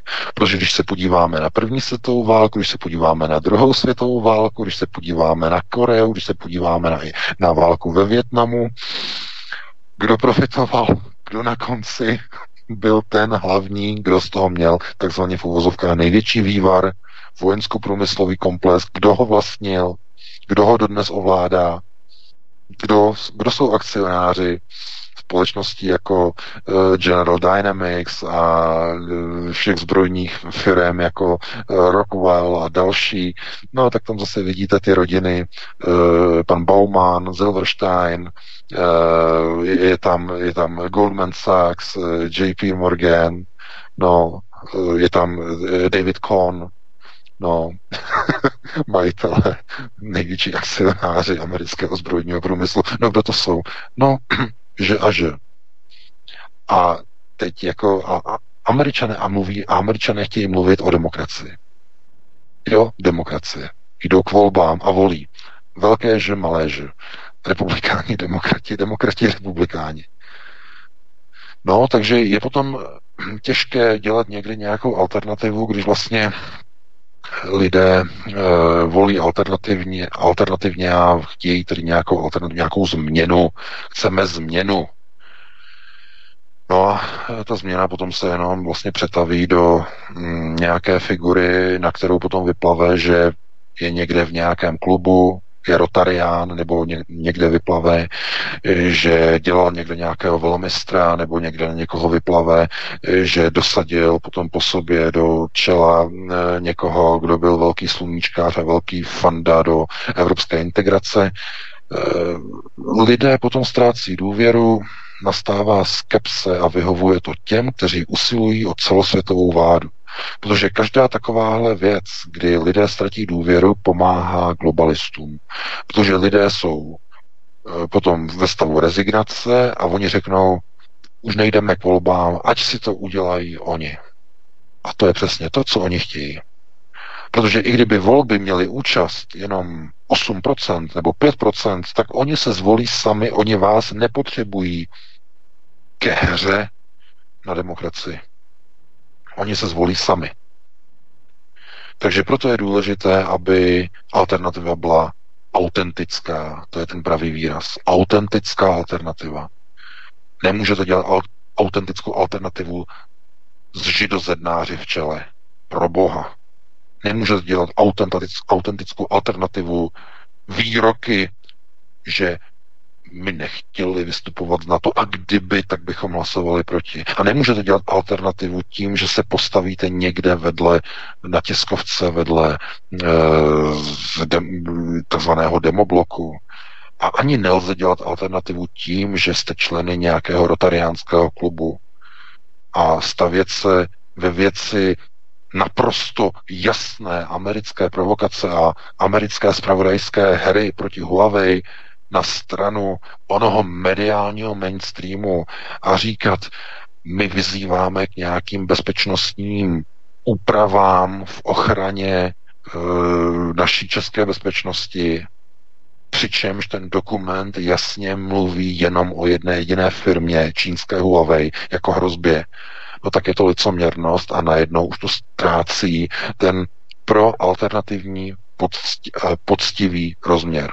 Najednou se tam dostává jakýsi podtext jakéhosi Gleichschaltungu, to znamená jakéhosi mainstreamovávání oné alternativy, to znamená obrušování hran, to znamená řízení opozice. Já to vidím, kdybych to neviděl tady na AFD, tak uh, bych ani nemohl to nějak porovnávat, jenže já to porovnávám s, uh, s SPD a já, se, já jsem zděšen, že to, co tady probíhalo před, no, půl rokem, půl rokem zhruba v AFD, teď se kopíruje do Česka do SPD.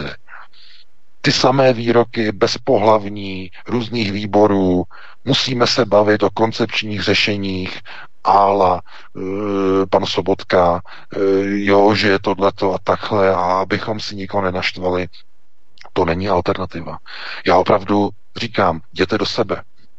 SPD, jděte do sebe. Nebojte se řešit a na, nazývat věci pravými jmény. A teď ne, ne, nemluvím k voličům, mluvím k politikům ve sněmovně. Dělejte politiku natvrdo, jako Frauke Petry, nebojte se. Když je něco špatného, tak na to ukažte prstem. Nebojte se e, negativních nějakých nálepek někde v nějaké české televizi. Nebojte se toho. Jděte do toho. Získáte si podporu a přízeň těch alternativních voličů, kteří hledají to světlo. I když zase s těmi světly v temnotě Mesiáš nese lampu, to je zase v kabale. Tohleto to je velmi nebezpečné, ale pokud ten uh, světlonož zkrátka uh, to myslí dobře a upřímně, by měl použít výraz uh, zesnulého pana Grosse, tak uh, zkrátka je to pořád lepší, než uh, když se do té temnoty jde za výkřiku uh, jen více a více, jdeme do hlubin země, je tam teplo, to nám stačí. No, to je citát taky zase z těch obrazů, no, e, jak to potom probíhá. No, takže to bychom zacházeli příliš daleko do zase úplně jiných e, obrazů. E, já ti vrátím slovovítku. Máme nějakých e, pět minut, šest minut do 21. hodiny, dal bych ti ještě slovo a aby si také k tomu něco řekl. Možná VK, kdybychom se měli vyjádřit a specifikovat trošku, co znamená ta rozploucenost nebo eh, polarizace, rozdělení společnosti. Eh, společnost, která vlivem různých eh, vnějších znaků, symptomů směruje právě do nějakých občanských nepokojů, tak bychom si to mohli vykreslit právě na onom incidentu v Německu, protože německá média řeší politicky motivovaný brutální útok na poslance německého Bundestagu za AFD Franka Magnice, který byl v úterý v Brémách napadený skupinou neznámých mužů. Magnic právě vycházel z místního muzea umění a mířil k parkovišti a svému autu. Když byl napaden skupinou neznámých mužů, kteří ho začali mlátit baseballovými pálkami nebo trubkami, přičemž mířili na hlavu s cílem zabít. Magnic skončil v bezvědomí s těžkým poškozením hlavy, frakturou lepky a byl převezený na traumatologické oddělení místní nemocnice. Podle svědků incidentu z místa parkoviště útočníci vykřikovali opakovali hesla obvinující Magnice, že je nácek a Německo pro takové prý nemá už místo. Eh, předběžné šetření ukazuje, že útočili členové ultralevicové německé scény Antifa, případně některé z militantních skupin, které podporují migraci v Německu. Eh, jenom opravdu telegraficky VK, protože přesně už nám zbývá několik minut do konce 9. hodiny, abychom dali velký prostor posluchačům. Eh, jaká je tedy situace v Německu, co na to, co na to němečtí politici, média a případně samotní Němci? No tak eh, tady zase v Německu teď eh, probíhá to, co jsem já teda očekával, to znamená, policie začíná zase měnit eh, různé scénáře, jak to proběhlo. Byly poskytnuty, nebo policie získala nějaké kamerové záznamy a najednou se zase jako ukazuje, že signály nebo informace o tom byly zaznamenány na nějakých kamerách a že jako svědci, že údajně u toho snad ani být neměli. To znamená, znovu se ten narrativ jakoby posunuje do nějakého dezinformačního směru. Já jsem z toho úplně jako vyděšen, co tohle to má znamenat. A e, znovu e, ty informace, já jsem takhle, vždycky, když se tady něco stane, tak já vždycky jako první prohledávám e, tu zakázanou neonacistickou scénu. No, protože e, tam jsou vždycky čerstvé zprávy za čerstva a vždycky přesně, jak to je, jo, mimochodem. oni, oni si to mezi sebou normálně jako posílají, takže to je jako skvělý zdroj, i když některý obsahy jsou tam fakt strašný, oni, ty, eh, oni tam jako i proti, proti Česku jedou a eh, jako sudety, jako že vrácení sudet tak dále, jako neonacisti, to je něco úplně jiného tady. Ale zkrátka, oni zjistili, že Magnic ve skutečnosti by měl mít původ z rodiny Magnických e, na Ukrajině. No a to je kdo Magnických, rodina Magnických. No přece e, Sergej Magnický, myslím Sergej se jmenoval, no to byl přece ten, kdo byl zavražděn v Rusku v roce 2010, ten protikorupční aktivista, na základě něhož byl e, přijat takzvaný magnického zákon ve Spojených státech.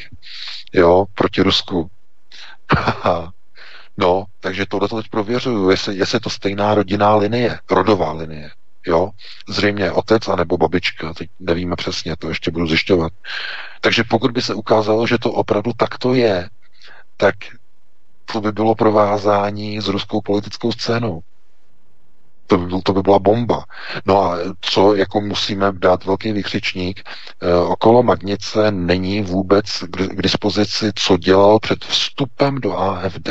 Nic. Jsou tam pouze jeho profesní životopisy, e, byl učitel, tohleto a, ni, a nikdo nic nechce publikovat. Jeho rodiče, kde, co, kam chodil, tohleto, nic, vůbec nic. Eh, a vzhledem k tomu, že eh, jako na médiích se tohleto většinou jako nějak neututla, ani na internetu, tak to trochu eh, budí trošku jako opatrnost, jestli se nejedná o nějakou formu provokace. Protože on je de facto vykreslován Magnic, je vykreslován poslední no, dva, tři roky zpátky jako nacista, jako neonácek a on se účastnil proti migraci, protestů tady v Německu, ale i proti Turkům. No ale ono se ukázalo, že má tureckou manželku z roku 98. Mnoho voličů AFD to ani nevědělo. Ještě donedávna. Takže to zase vykresluje nějaké určité konotace a obrazy, které jako zase rozsvicují nějaké červené světlo a blik, blik, blik, pozor, pozor, pozor na to, co je narrativ a jak je to ve skutečnosti. Což nemusí být jedno a to tež. Víte, eh, tohleto jako zjišťovat, eh, když vidíte, co probíhá třeba v čele AFD, to znamená Gauland a Weidl, potom se nedivíte, že něco na nižších úrovních v AFD může něco podobného být v rámci nějaké plánované provokace proti někomu nebo ve prospěch něčeho. Chápete? To je velmi nebezpečné. Čili v těchto těch věcech já jenom říkám, že no, to, jsou, to jsou prostě zkrátka věci, které asi úplně nemůžeme eh, dávat do, nějakého, do nějaké pozice nebo do nějaké polohy toho, že eh, ta alternativa má jednoduchou úlohu v dnešní době, protože mnoho alternativy se ukazuje jako, jako bohužel to musím říct, jako řízený mainstream. Postupně, není to naraz, to není hned teď, že někdo zmáčkne vypínač a od téhle chvíle. Ne, ale postupně se jakoby vykrystalizovávají některé strany, některé postoje, jako naprosto neuvěřitelné, pro mě nepochopitelné, výroky nepochopitelné, v posledním článku video z poslanecké sněmovny nepochopitelné. E, sami si nad tím udělejte nějaké závěry, sami si ještě jednou promyslete, proč je možné, nebo co je důvodem toho, že třeba v tom Polsku, když se ještě vrátíme do Polska, že když T-Mobile minulý rok v září, nebo teď vlastně před několika měsíci, minulý, vlastně v prosinci, v prosinci T-Mobile polský eh, spustil provoz 5G sítí eh, na technologii Huawei. A polský Orange o několik měsíců dříve v Glivicích v Polsku zahájil pilotní projekt 5G. Glivice, to je zase zajímavost. Glivice, znáte, historické město, kde vypukla údajně tedy druhá světová válka, útok na Glivice Wehrmachtu. Takže zase Orange tam spustil spolupráci s Huawei eh, pilotní provoz 5G ve městě Glivice a bude vyhodnocovat vlastně fungování. No, takže, a jak se na to dívají američani? No to jsou symboly, prosím vás. Proč Glivice? Polsko, taková země, tam by to mohli vyzkoušet kdekoliv. A proč v Glivicích? Na hranicích s Německem. Proč zrovna tam? No to je symbol. To je facka americkým partnerům do tváře. Obrovský úder, až spadli na zem a nedokážou pochopit, co se děje. Čína, globalizace přebírá Evropu. A když mluvíme Čína, když mluvíme globalizace, mluvíme o malých ž. To je to hlavní. Mnoho lidem to ještě vůbec ani nedochází a to je úplně jedno. Jejich válka mezi nimi, mezi Ž a Ž, není naše válka. Nicméně musíme si dobře dávat pozor, abychom se nedostali do soukolí mezi nimi. Abychom se nenechali semlít. Naše alternativní teze, abychom se nenechali semlít. Naše postoje, anebo i naši důstojnost. Teď uh, mluvím o různých čučkařích, o různých kauzách, o různých novičocích, o um, různých Huawei a tak dále a tak dále. Jenom pan prezident a pár dalších mají tu odvahu nazvat věci pravými jmény. A já panu prezidentovi za toto děkuji. Takže já bych ti předal slovítku, máme 21.03, dali bychom si jednu přestávku nebo jednu přestávku s jednou písničkou a potom bychom se pustili hned do telefonických dotazů. Co říkáš? Tak pokud stihneš VK jednu písničku, dáme jednu písničku 4-5 minutovou, 4 až 5 minutovou. Myslíš, že to stíháš pořád? No, to, to, to stíneme, stíneme určitě. Dobrý, tak fajn, Martine, tak dáme písničku a budeme pokračovat. Ano, tak jdem na to. Tak, tak, tak, já vás zdravím a vítám. Věřím, že naši hosté jsou také stále ve spojení. Takže já upřesním, výborně, já upřesním 720 739 492 telefonní spojení. Tak a já se kouknu na to, co se kde děje. Vítek není. A jsem, jsem, jsem, jsem, pořád Výborně. jsem tady. Výborně. Přestěhu já akorát vypnutím mikrofon a čekal jsem, až dopovídáš v pohodě, není problém. Já spíš bych si ověřil, jestli VK, slyšíš? Já mám trošku vítr z toho výpadku minule. Jo, ano, ano, ano, slyšíme se dobře. Dobrý, skvělý. Fajn, fajn, fajn, máme první hovor, tak jdem na něj. Dobrý večer, svobodný vysílač. Ano, tady, tady Jenda z Moravy, můžu mluvit? Ano, už můžete. Zdravíme na Moravu. Ano.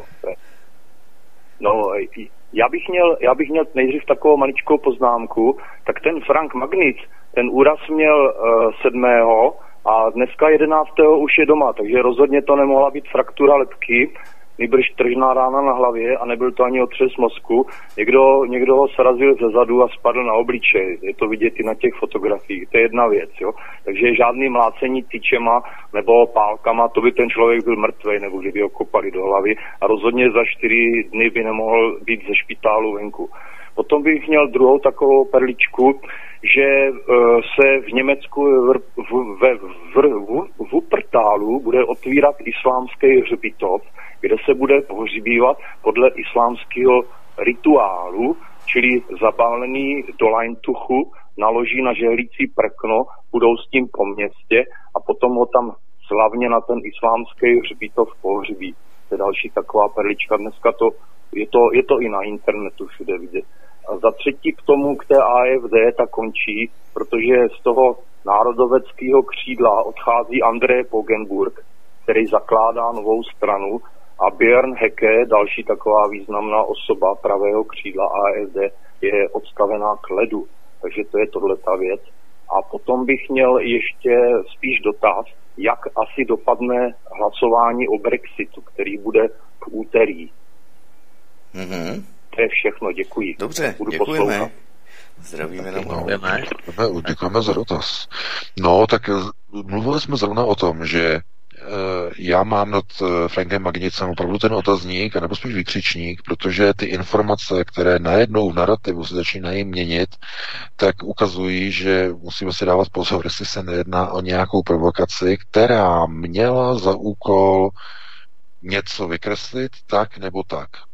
To je, na to si vždycky musíme dávat pozor, protože když vidíme, eh, jakým způsobem se AFD mění, a to není něco jako pěkného povídání o tom, jako jak se mění, jak byl nějaké alternativní teze, najednou z toho vlastně vylezá jinak to nelze nazvat, zglajšaltovaná prostě nějaká polo, jakoby, rádoby mainstreamová strana, tak e, tam už není žádný prostor pro národní teze. To je naprosto logické, že potom odcházejí další, to je úplně na jinou diskuzi. Frauke Petry, ta věděla, o co se jedná, proto odešla hned v den voleb, když skončily volby na té tiskovce. To, to, to, že někdo odchází, až když vidí, že,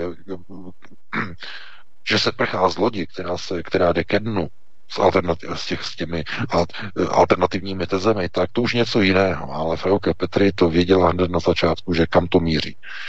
No a co se týče Brexitu, eh, já vám to řeknu takhle. Um, oni budou se snažit najít nějakou dohodu, ale Británii je v podstatě v této chvíli úplně jedno, protože uh, Británie už ztratila svoji vládu sama nad sebou a uh, veškerou moc v Británii převzal Dům Sion, Dům Rothschild. Britská královna byla odstavena, včetně její rodiny, která je islamizována teď v této chvíli. Takže nad Velkou Británií je zlomená hůl a um, ona může ještě nějakým způsobem teď v této chvíli uh, bude sloužit v následujících letech. Právě tento rok 2019 je tak důležitý uh, jako výchozí platforma pro útok uh, proti Rusku a Číně. To je hlavní, protože znovu, chirurg nikdy neoperuje na vlastním těle. A oni nechtějí být Rothschildové nechtějí být součástí rozbíjení Evropské unie. Proto oni vystupují. Až vystoupí, tak začnou probíhat v Evropské unii ty, ty, ty destrukční procesy. Islamizační, proislamizační a zároveň v boji o moc s americkými elitami, které budou se ve svém záchvatu boje o přežití, protože američané končí, tak se budou snažit utrhnout se z rozpadající Evropy k sobě své věrné části jednotlivých zemí. Od, proto je teď ten boj tak vypjatý, že věrní partneři Američanů jdou na ruku americkým elitám. Polsko, momentálně Praha. Ale ne celá Praha. Jenom Praha okolo Strakovy akademie. Vláda. Nikoli Pražský hrad. To je důležité. Protože že a že prostor nad Mahrálem, kde se neútočí, kde oni nesmí mezi sebou bojovat. Oni to porušují, ale oni nesmí že a že mezi sebou v Praze bojovat. To je svaté území, protože Lalum Negra e, nad Jámou oni nesmí, to oni nesmí, oni to mají v dohodnutý, ale e, všude jinde budou hořet, budou, budou hořet města. Takže e, to by bylo na jinou diskuzi, nemáme čas, musíme dát prostor dalšímu volajícímu, nicméně Brexit v této chvíli e, nevypadá na nějak, nějak dobře pro budoucnost Velké Británie, teď z tohoto pohledu, ale prosím vás, tady nejde o Velkou Británii. Po odchodu Velké Británie se začne mazat a řezat mezi sebou Evropa. Protože jsou dvě teze. Promysle, pro, pro, řekněme, pro muslimsko-integračně globalistický a ten, řekněme, pro americký. V téhle chvíli. Jenže problém zase o ukotvení Evropy není o tom, jestli bude Evropa, já nevím, mít americké zboží nebo globalistické zboží, o to vůbec nejde. Jde o výchozí platformu pro boj a pro získání přístupu do Ruska. To je to hlavní. A globalisté budou chtít jít cestou obchodu, budou chtít jít cestou rozvratu Ruska zevnitř, to znamená to, co oni umí, to, co oni dělají, no a američané na to si vezmou beranidlo. Jenže oni ztrácí sílu. Oni ztrácí sílu na Ukrajině, oni ztrácí sílu na Blízkém východě, stahují se ze Sýrie, takže e, i Spojené státy se rozpadají přímo zevnitř, no a Donald Trump tomu úspěšně pomáhá. Všema silama. A, a, a z jakého důvodu? No paradoxně tím, že prosazuje koncepci Amerika na prvním místě. Protože když v globalistické zemi, jako byl ještě donedávna Spojené státy, Pax Americana, začnete prosazovat pro národní teze, tak tím de facto zlikvidujete moc, globální moc Spojených států.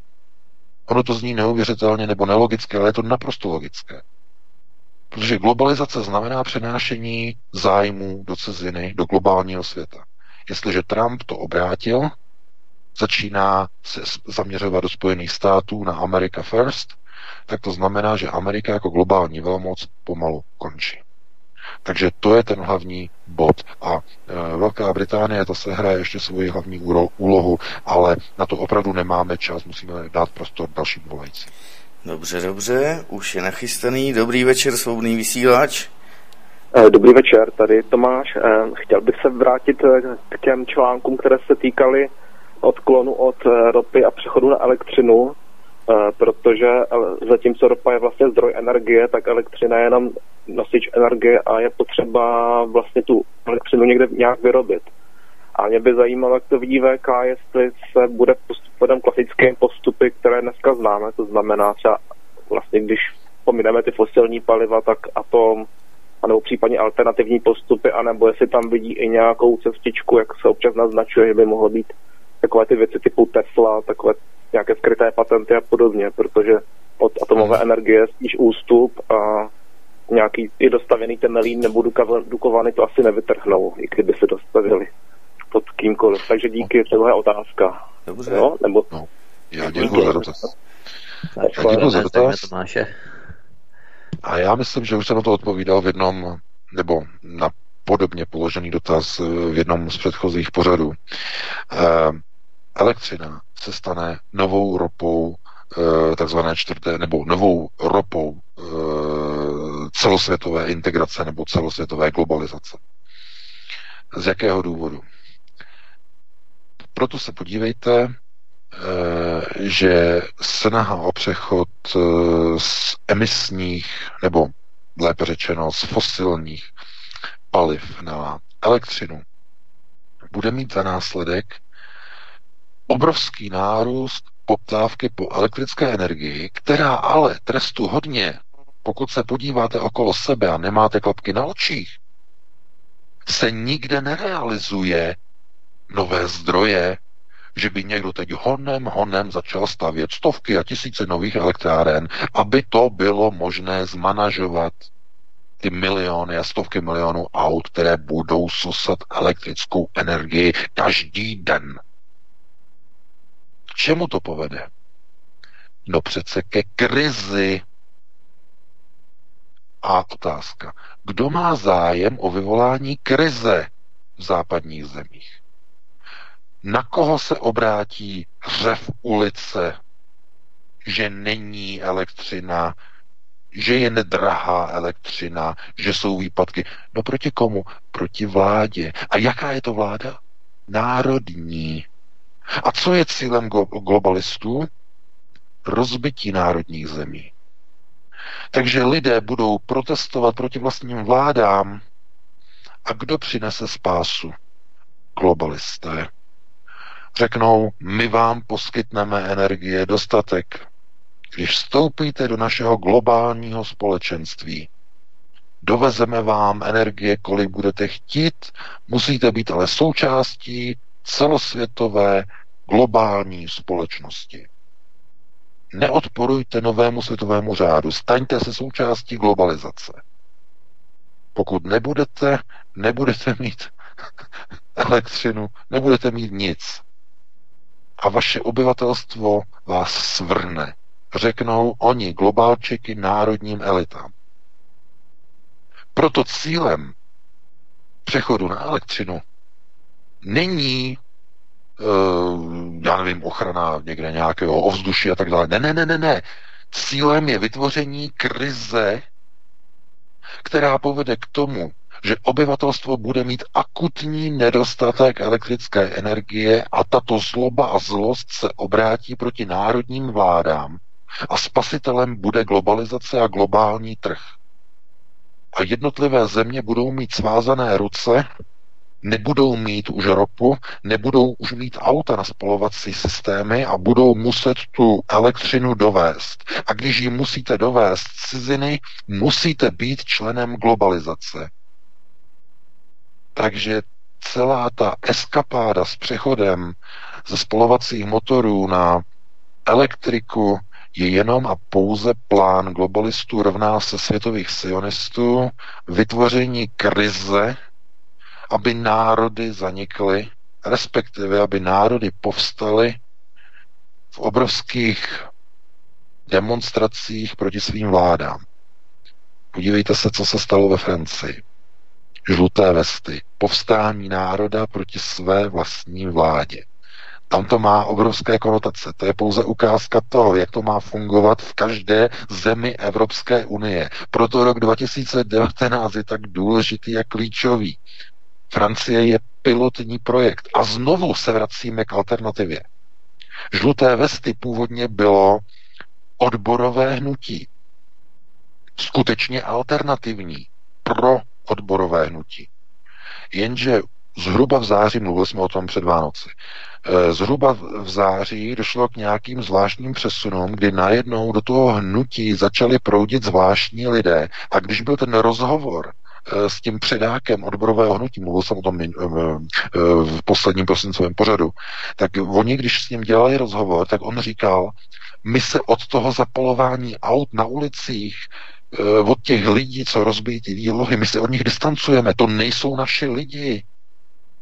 My, nejs, my nechceme násilí, to nejsou naši lidi, to není naše povstání. On říkal, to nejsou, my ty lidi neznáme. Takže, chápete, znovu byla alternativa zneužita k vyvolání rozvratu ve společnosti. Ve Francii. To znamená, to jsou procesní nástroje k rozbití vlád. A někdo si třeba řekne, no vždyť tam mají Macrona, kterého dosadil Rothschild. No ano, on má přihlížet rozbití francouzské republiky. On má být tím, kdo vyprovokuje tu ulici k rozbití republiky.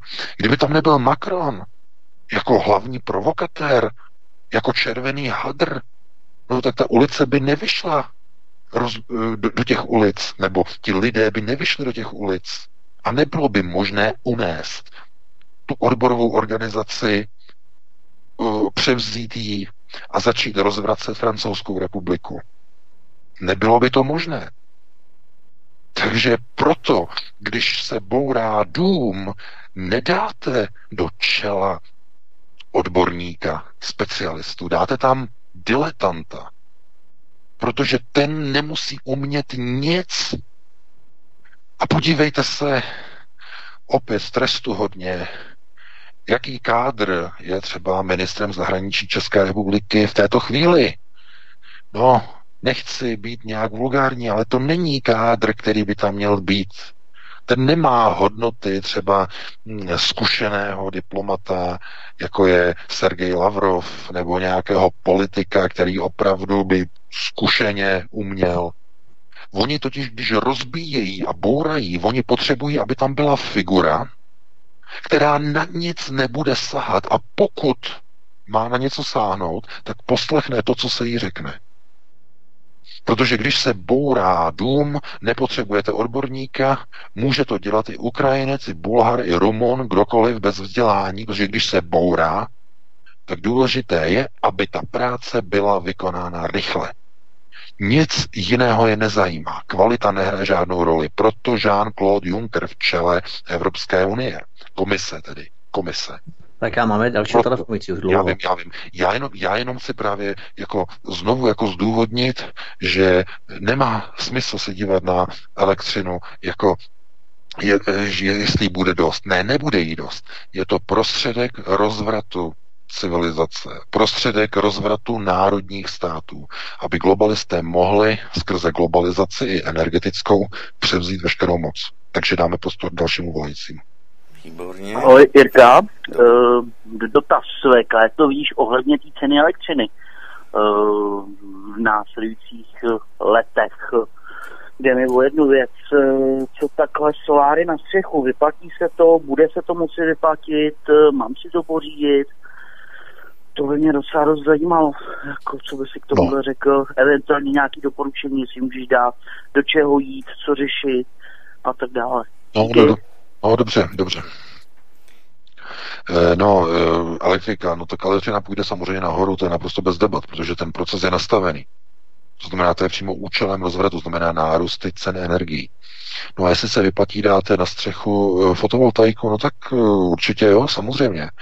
Otázkou je samozřejmě, jestli mm, to, nebo ta instalace je myšlená v, ve smyslu osobního využití anebo nějakého zisku nebo výdělku. Protože mnoho lidí, ono to není levné zase, ale mnoho lidí si to dává, jako že si to připojí do sítě a e, potom energetické závody jim za to platí, že dodávají elektřinu, jako pomáhají elektrické síti. Takže e, tohle na to bych nesázel, ale pro vlastní účely a pro vlastní potřebu nebo vytvoření dokonce takzvaného ostrovního energetického systému, to znamená, že se úplně odříznete od sítě, od gridu a vytvoříte si vlastní ostrovní elektrický systém z fotovoltaických panelů a z takzvaných článků, které vlastně v době, kdy nesvítí slunce, tak vlastně vám jede celá domácnost a tak dále. Pořídíte si například, což je zase progresivní, na vytápění takzvané tepelné čerpadlo, to je velmi progresivní, takže ano, ale to vyžaduje nějaké finance, nějaké peníze a otázkou zase je, že nikdy nemůžete vyloučit, co udělá ono globalistické samoděržaví, které je skrze jednotlivé marionety u moci v jednotlivých zemích, kdy třeba řeknou, že ten, kdo má ostrovní systém, tak bude platit třeba solidární daň. Jo, bude platit. To znamená, kdo nebude připojený do gridu, bude spoplatněn, bude zdaněn. A tomu se nevyhnete. Takže to, to nemá řešení. Jo, to je prostě o tom, že tohle, když začne dělat více lidí a oni budou vědět, že lidi se takzvaně osamostotňují, oni přijmou zákon, že to bude, že to bude spoplatněné. To je něco podobného VK, jako, ještě přerušu, jako dešťová voda, která se má rovněž spoplatnit, což je úplně neuvěřitelné. Jo? Ano, a to bychom se tomu smáli před pěti lety, kdyby to někdo řekl. Že to je vtip, No a já jsem to četl, ano, ano, opravdu chtějí spoplatnit dešťovou vodu a zdůvodňují, zdůvodňují to tím, že ona vlastně odtéká do společného komunik, kanalizačního řadu a tím pádem jako, že se jedná o stočné. Takhle jsem to četl, ten článek. A no, klasika. To znamená, oni si najdou důvod, proč, nebo vlastnictví studny, že bude jako zdaněno tady a že bude muset být napojeno, že když jsou sucha, tak bude muset být tedy napojeno a poskytovaný, poskytovaný vlastně e, přístup eh, ke sdílení vody. To připravují tady v Německu. To byl zrovna reportáž, byla v televizi. No, takže vy máte soukromou studnu, oni přijmou zákon, pokud bude schválený a oni vám normálně budou brát vodu z vaší studny a bude to zákonem ukotvené. A kde jste? No, jste v místech, kde se nikdy nesvítí. No. Takže e, znovu, chápete, ty procesy, tomu se nevyhnete. To byste museli se jedině odstěhovat, koupit si někde nějaký ostrov, jako dělají teď miliardáři, že si kupují eh, v, eh, no, v Jižním Pacifiku, si kupují ostrovy a tohleto a v Mikronézi a tam se chtějí jako přestěhovat, až to takzvaně bouchne v Evropě. Až nebude k žití. No, e, to by bylo na jinou diskuzi, e, někdy o tom můžeme dokonce i popovídat. Není na to čas, dáme prostor dalšímu volajícímu. Výborně. Já chci jenom ohledně těch ostrovních systémů, samozřejmě to už tady zavádějí, že ano. A jenom odborníci se k tomu vyjadřovali, ale zatím veřejná debata není žádná. Tak, dobrý večer, svobodný vysílač. Ano. Můžeme? Nebo můžete? Dobrý večer. Můžu. Ano. Vypněte vysílání a poslouchejte jenom telefon teď. Nebo... Jo. Jo? Zatím. Dobrý večer přeju. Halo? Ano, ano, slyšíme. slyšíme. Uh, Prosím, vypněte rádio a poslouchejte pouze telefon. Hraje vám to tam stále, ačkoliv jsme vám to říkali. Aha, počkejte. A hned to zastavím. Moment. A hned to zastavím. Tak. Eh, Petr, eh, Petr Odolpavý. Eh, prosím vás, je, jak jste tady zmiňovali žluté vesty, je pravdou, že vyzvali občany Francie, aby ve velkém vybírali peníze z bank? To je jeden dotaz. A druhé, takové, taková zpráva, kterou jsem si přečetl na internetu, Představte si, že v Katovicích úřad práce hledá imáma. Nabízí mu plat 3000 zlotých, myslím, že průměrný plat je pod 2000, takže hledají imáma, aby vykonával komplet všechny jeho činnosti. Děkuju, budu poslouchat. Dobře, děkujeme. To je zvláštní, no, protože no, Polsko, které je proti to je zajímavé. Tak eh, co se týče té Francie, tak to nevím, to je informace nová, eh, výzva k vybírání vkladu. No, hm, zase, chápete, eh, pokud by to pře- překročilo nějakou míru, tak oni zakážou výběry jako to, tím, to není tím nic řešeného. V zájmu zachování bankovní stability oni zablokují výběry a k penězům hotovým se nedostanete. Jo? To je takzvaný ran na banku. To oni mají, že a že mají velmi dobře ošetřené v zákonech jednotlivých zemích. Takže nevím, já jsem to slyším poprvé tohle. A je to možné samozřejmě, že různé výzvy různých organizací a tak dále. No a co se týče v těch Katovicích toho imáma, no tak samozřejmě může jít eh, o nějakou provokaci, o zkoušku, o volavku, eh, balónek zkušební, jaká bude reakce a tak dále. Chtějí vidět, jak se na to lidi budou dívat. No ale samozřejmě, že i Polsko bude, nebo je v centru uh, islamizace nebo snah o islamizaci. No tam to bude mít hodně těžký, protože to je křesťanský národ, tam hodně katolíků, ale eh, oni se o to budou pokoušet stejně však. Globalčík je všude, no, globalčík, globalčík je zase sionisté, že jo protože cílem je rozvrat Polska. Eh, to je, jako pořád si někdo myslí, že když někdo o něco usiluje, že něco buduje. U sionistů ne. Sionista, když něco buduje, tak e, chystá rozvrat a rozbití a zničení toho, co vykonal a vytvořil nepřítel. Ne, aby něco bylo budováno. Ne, ne, ne, ne, ne. Rozbití, rozvrácení a to, co zůstane potom, to se takzvaně převede do majetku různých zahraničních, nadnárodních, různě v syndikátech zapojených svatavách a tak dále. Takže e, znovu, jako ono je to logické, že když někdo třeba řekne, on buduje tohleto, nebo on se snaží o tady to a tyhle ne, ti, ti ne. Jejich úkolem je pouze stavět národy proti sobě a na jejich troskách budovat svoje impéria a říše. Že a že.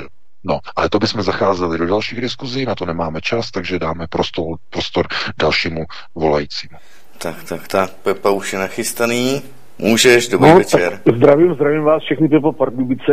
Co ví pan VK o další akci ve Francii, ty červený pera? Jestli mu to něco říká.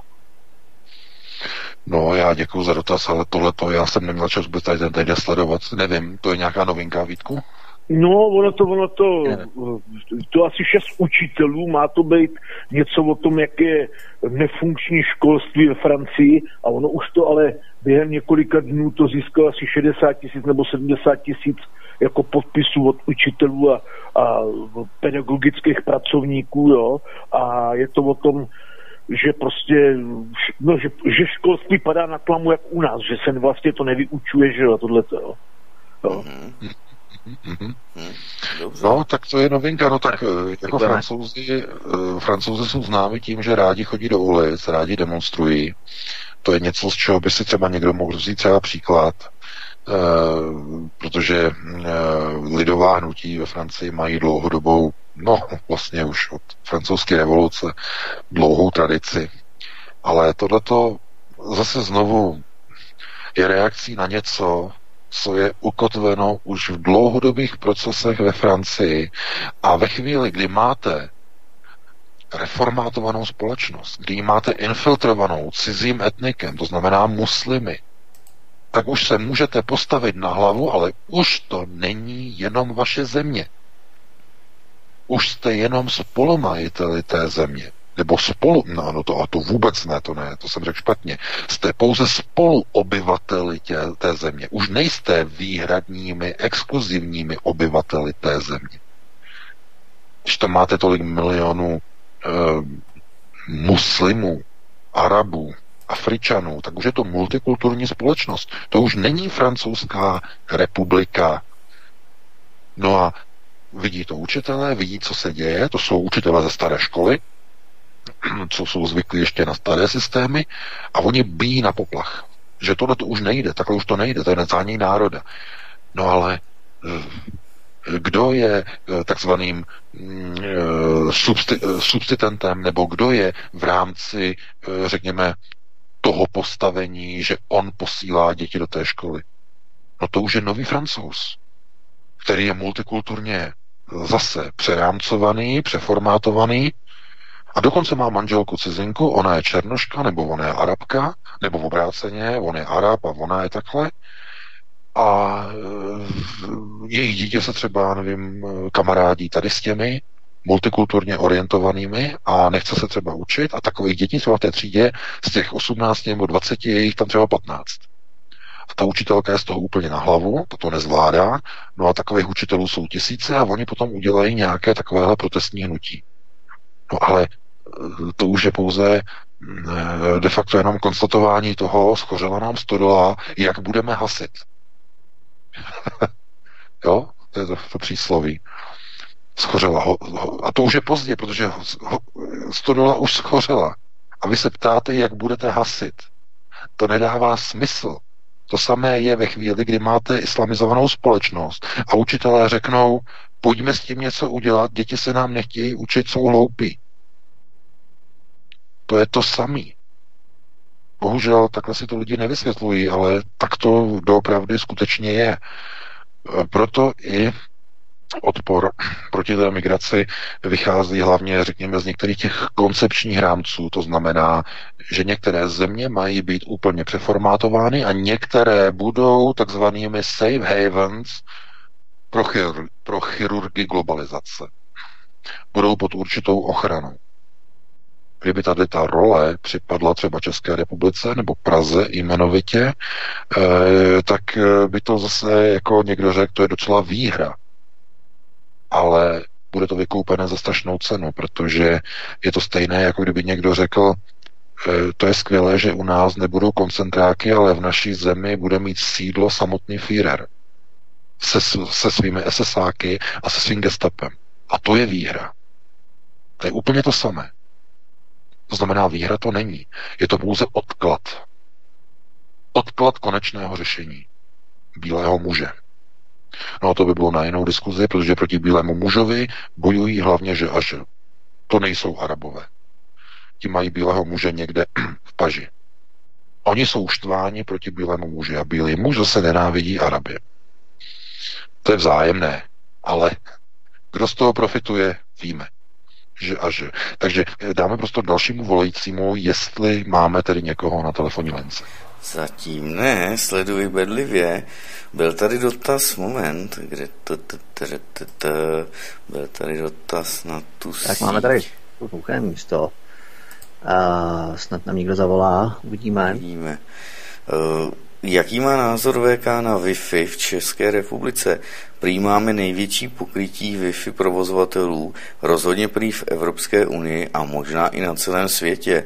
Jo a síť 5G, eh, čím více uživatelů, tím rychlejší. To znamená prý něco jako TOR? T-O-R? Ne, ne, ne, ne, ne, to je ne Tor, ale torrentové sítě torrenty. To je něco trochu jiného. Jo? Dobře, další hovor. Tak, svobodný vysílač, dobrý večer. Dobrý večer, VK, jenom tak jakoby pro nadsázku chci se zeptat, přijdeš na sraz svobodného vysílače? já bych, jsme tady řešili, smáli jsme se nad tím, smáli jsme se nad tím minulý čas, já bych se zasmějeme ještě. rád přišel. Já, bych určitě rád já se obávám, já to věděl, Dobře. Tak VK, můžeš, pánovi No, tam je nějaký já tam štěkal na státní hranici. Pohraničí. Československý vlčák. no, to. Eh, tohle to, no samozřejmě, no tam by, tam by určitě přišlo i spousta čučkařů a určitě spousta novinářů a to já, budu, já nebudu poskytovat mainstreamovým novinářům žádné rozhovory. Rozhodně ne, to mám, ne, nebudu, nebudu riskovat bezpečnost vlastní, vlastní rodiny. Takže, takže děkuji za pozvání, ale bohužel, jak říkám, už jsem to říkal v minulém pořadu, někdy doufejme, že v lepších časech, že se podaří a že bude možné mít ve svobodné společnosti prostor e, pro komunikování pravdivých informací a zpráv, které jsou nepohodlné mocným a řekněme těm, kteří stojí za e, některými řídit, řídícími procesy, aby bylo možné bezpečně pracovat v oblasti žurnalistiky a zpravodajství.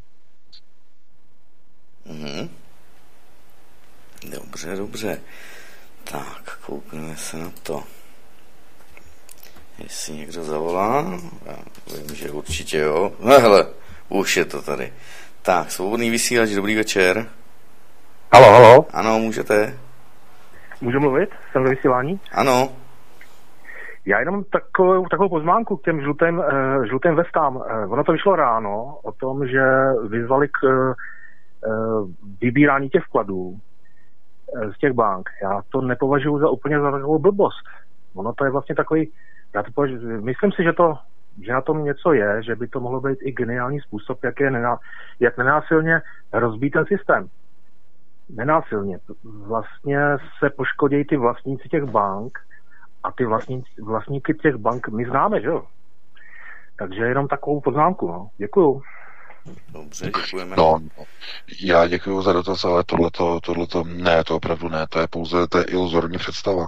Jenom pro vaši představu, eh, hlavní majetky bank eh, jsou, oni tomu říkají takzvané kapitálové vklady a ty nemají peněžní finanční podobu to jsou, jsou de facto eh, ty kapitálové vklady, to jsou de facto digitální bankovní úpisy, které eh, deklarují, že banka disponuje určitými objemy peněz.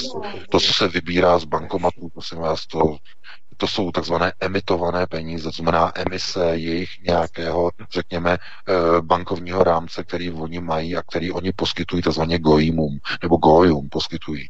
To jsou operační peníze. Tam jde o něco jiného. Tam jde o to, aby nedošlo takzvanému ranu na banku. To znamená uzavírání účtu a ke snižování takzvané kapacitance banky. To znamená, ta banka si může generovat nějaké peníze v závislosti na to, kolik má eh, takzvaných minimálních vkladů. To znamená, o toho se potom odvíjí takzvané ty minimální úvěrové rámce. O to vlastně jde. To znamená, když několik třeba tisíc lidí si vybere své vklady nebo několik desítek tisíc, to nehraje vůbec žádnou roli. Takže ten systém systém toho, té bankovní stability je nastavený tak, že ve chvíli, kdy centrální francouzská banka zjistí, že by probíhal uh, run na nějakou nosatou banku v uvozovkách, v tom okamžiku uh, nařídí centrální banka zastavení výběru vkladu. A zastavení dokonce uzavírání účtu. To je snad ještě důležitější, mnohem důležitější, než vybírání peněz. Ale to bylo na jinou diskuzi, na to nemáme čas. Takže dáme prostor dalšímu volajícímu. No, čekám, zatím nic a jen budu chtít rozečíst e-mail, tak se to tady sesype. Eh, hele, dotaz prý titulka The Economist magazín byla celá černá a na titulní straně a oni tu titulní stranu prý změnili, že teď zase najednou plná videí eh, těch symbolů, jako, jak ukazují nějaká videa. Tak já jsem to neviděl, takže nevím. Telefon. Svobodný vysílač, dobrý večer. Halo, dobrý halo. Večer. Eh, dobrý, já bych měl otázku pro pana VK. Ano, můžete. Halo, halo. Dobrý večer. Prosím vás, já bych měl otázku, takovou otázku pro pana VK. Prostě uh, tak uh, uh, souvisí to vlastně i teď zavezením uh, těch 5G sítí. Vlastně a takhle, co se týče, týče jako řízení tady tohoto světa, je v podstatě člověk tady vidí jedno procento, co nás tady obklopuje. A chtěl by jeho názor v podstatě takový výraz, tady koluje globální prediktor, podstatě globální prediktor, to vlastně je to elektromagnetická inteligence, ale demonická, která vlastně tady je vedle nás. V podstatě a zavedení čipu, čipu jako takového není z lidské hlavy, jako lidská, toto není lidská věc, zavedení čipu. A všechny tyhle technologie prostě tady slouží jenom na kontrolu člověka v podstatě. A tahle, tahle elektromagnetická inteligence, ten globální prediktor, získává prostě energii z lidského utrpení. A on se v podstatě tenhle zavedení tyhle 5G sítí takisto není z lidský, z hlavy prostě. To, tohle přichází z, z, z úrovní, které on prostě člověk tohle nevidí, tohle úroveň a vůbec ne, nevidí, neví, jak ty přes tuhle pyramidu, tohle všechno, ty pyramidu ty moci, se to dostává až tady na pozemskou úroveň. Tak chtěl bych vědět uh, na pana Veka názor prostě na toho vlastně tuhle strukturu a že vlastně na, na vrchole téhle struktury řízení světa stojí něco nehmatatelné mimozemské, to ty demonické. Děkuji za odpověď. Dobře, děkujeme. No já děkuji za dotaz. A tady to je spíš eh, téma, které by spíš odkazovalo na uh, moji první knihu, kterou jsem publikoval Human Ex Machina, nebo Machina. A, uh, a ještě spíše na tu druhou knihu, kterou ještě stále do, do, dopisuji, dokončuji, no doufej, že někdy dobře zná, že to bude. A uh, jako globální prediktor, ano, globální prediktor je moderni, ne modernizovaný, ale mm, jak, jak, se, jak by se to řeklo, eh, popularizovaný, tak, popularizovaný výraz uh, Valerie Pekina, který to, to zavedl. Ono, on nejde, nebo minimálně, jestli on hovoří o tom, co je tím myšleno, nebo to, co on tedy říká, že tím je myšleno, tak eh, to je spíš technologické zařízení, abychom to řekli takhle kulantně. A je úplně jedno, jestli se na to díváme jako na umělou inteligenci. To by bylo na jinou diskuzi. To znamená, co je to vůbec umělá inteligence. Hmm, hodně to zachází do těch konotací, eh, kdybyste měli definovat toho, nebo to, co vlastně tvoří člověka, co definuje člověka. Eh, je to ten systém, kdy, eh, když přijdete o ruku, jestli jste pořád ještě člověk. No samozřejmě, že jo. Když přijdete o dvě ruce, tak pořád jste ještě člověk. Když přijdete o nohy, taky. Když přijdete o trup a zůstane vám jenom hlava, tak mnoho lidí řekne, no hlava je hlava, pořád ještě člověk je člověk. No a když vám vyndají mozek z hlavy, tak jste pořád ještě člověk? No, někdo už zapochybuje a řekne, no tak ten mozek ještě funguje, je někde v nějaké nádobě a funguje a má své vědomí. Ano, je to ještě třeba člověk, když už je to hodně zahranou. No a co když postoupíte ještě dál a to vědomí z té neurální sítě, toho biologického proteinového mozku přenesete do neurální digitální sítě, která bude se pohybovat, žít v elektronickém digitálním nadčasovém prostoru. Bude to ještě člověk, nebo to bude jenom nějaká entita, která bude všude přítomná, bude mít obrovské možnosti a bude všude přítomná, bude moci komunikovat se všemi dalšími entitami v digitálním prostoru, v jednom čase, v jednom místě nadčasově, prostorově. Singularita.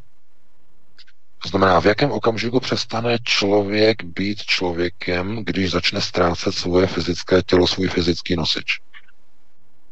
I skeptici musí přiznat, že v nějaké chvíli už bude těžké říct, eh, kdy končí nebo kde je ta hranice, kdy člověk už není člověkem, protože najednou si uvědomíte, jak stupidní a absurdní je říkat o člověku, že je člověkem jenom při pohledu na jeho fyzické tělo, Protože tímhletím, říká se tomu cut model, takzvaný řezový model.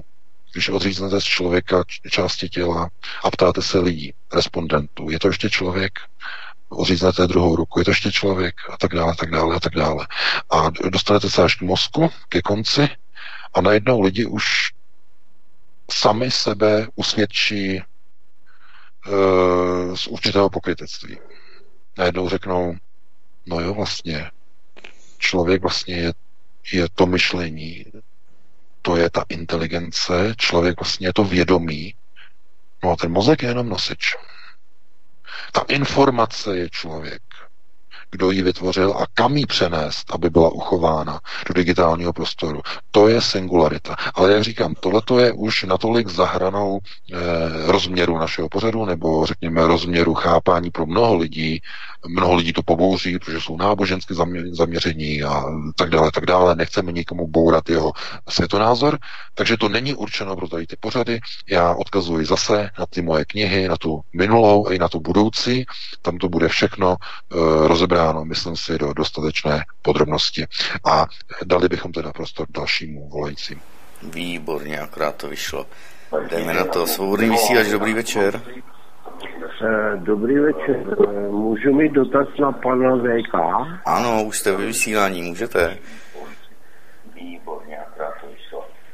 Musí, ano, musíte si vypnout rádio. Jo, jo, já už na to jdu. Jo, nebo stišit. Tak, jo. výborně, můžete. Eh, můžu? Ano. Tady, tady Jarda Severní Morava. Eh, prosím vás, já bych se ještě chtěl vrátit k těm žlutým vestám a k těm výběrům z těch bank. Mně to připadá spíš tak, že ta část, která už je v té Francii do určité míry polarizovaná, to znamená, eh, jsou to, jsou to žluté vesty a jejich sympatizanti, teďko v podstatě vyzvali tu svoji část, aby udělali ten ran na banky, aby ty banky se zavřely. A protože dneska, když si chcete koupit rohlík, dostanete výplatu, všechno jde přes vaš, vaše bankovní konta. Tím by polarizovali tu společnost ještě více, než polarizovaná v současné době je. Děkuji, budu poslouchat. Dobře, děkujeme.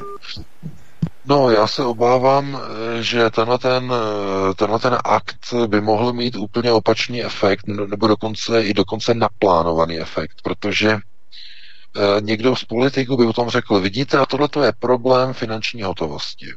Pojďme zrušit finanční hotovost ve Francii a zaveďme pouze bezhotovostní platby, kde není možné provádět rany na banku. Chápete? Protože když zamezíte finanční výběry, když, zam, když bude všechno elektronicky na kartě, tak všechno bude regulované. Nemůžete, nikdy nebudete mož, schopni e, banku zrujnovat, protože banka vám nastaví limit na kartě a tím je to dané. Nemůžete provést žádný ran, nebudou hotové peníze, to znamená, že nebude elektronicky. Chápete? Takže eh, ano, ono to může být myšleno upřímně, že si někdo myslí, že to jako něco prosadí, ale dokonce to může být i zmanipulované, že někomu o to jde, aby, byla, aby byl nalezen důvod, záminka k tomu, aby byla prosazena bezhotovostní platba a bezhotovostní společnost ve Francii. A jako příklad krize bude vykreslen ran na banku zorganizovaný žlutými vestami. Podívejte se na to. A proto je třeba přijmout opatření v rámci bezpečnosti našich občanů, našich vkladů. Pojďme to uzákonit aby už se to neopakovalo a tak dále. A hned budou všichni konstruktivní politici pro.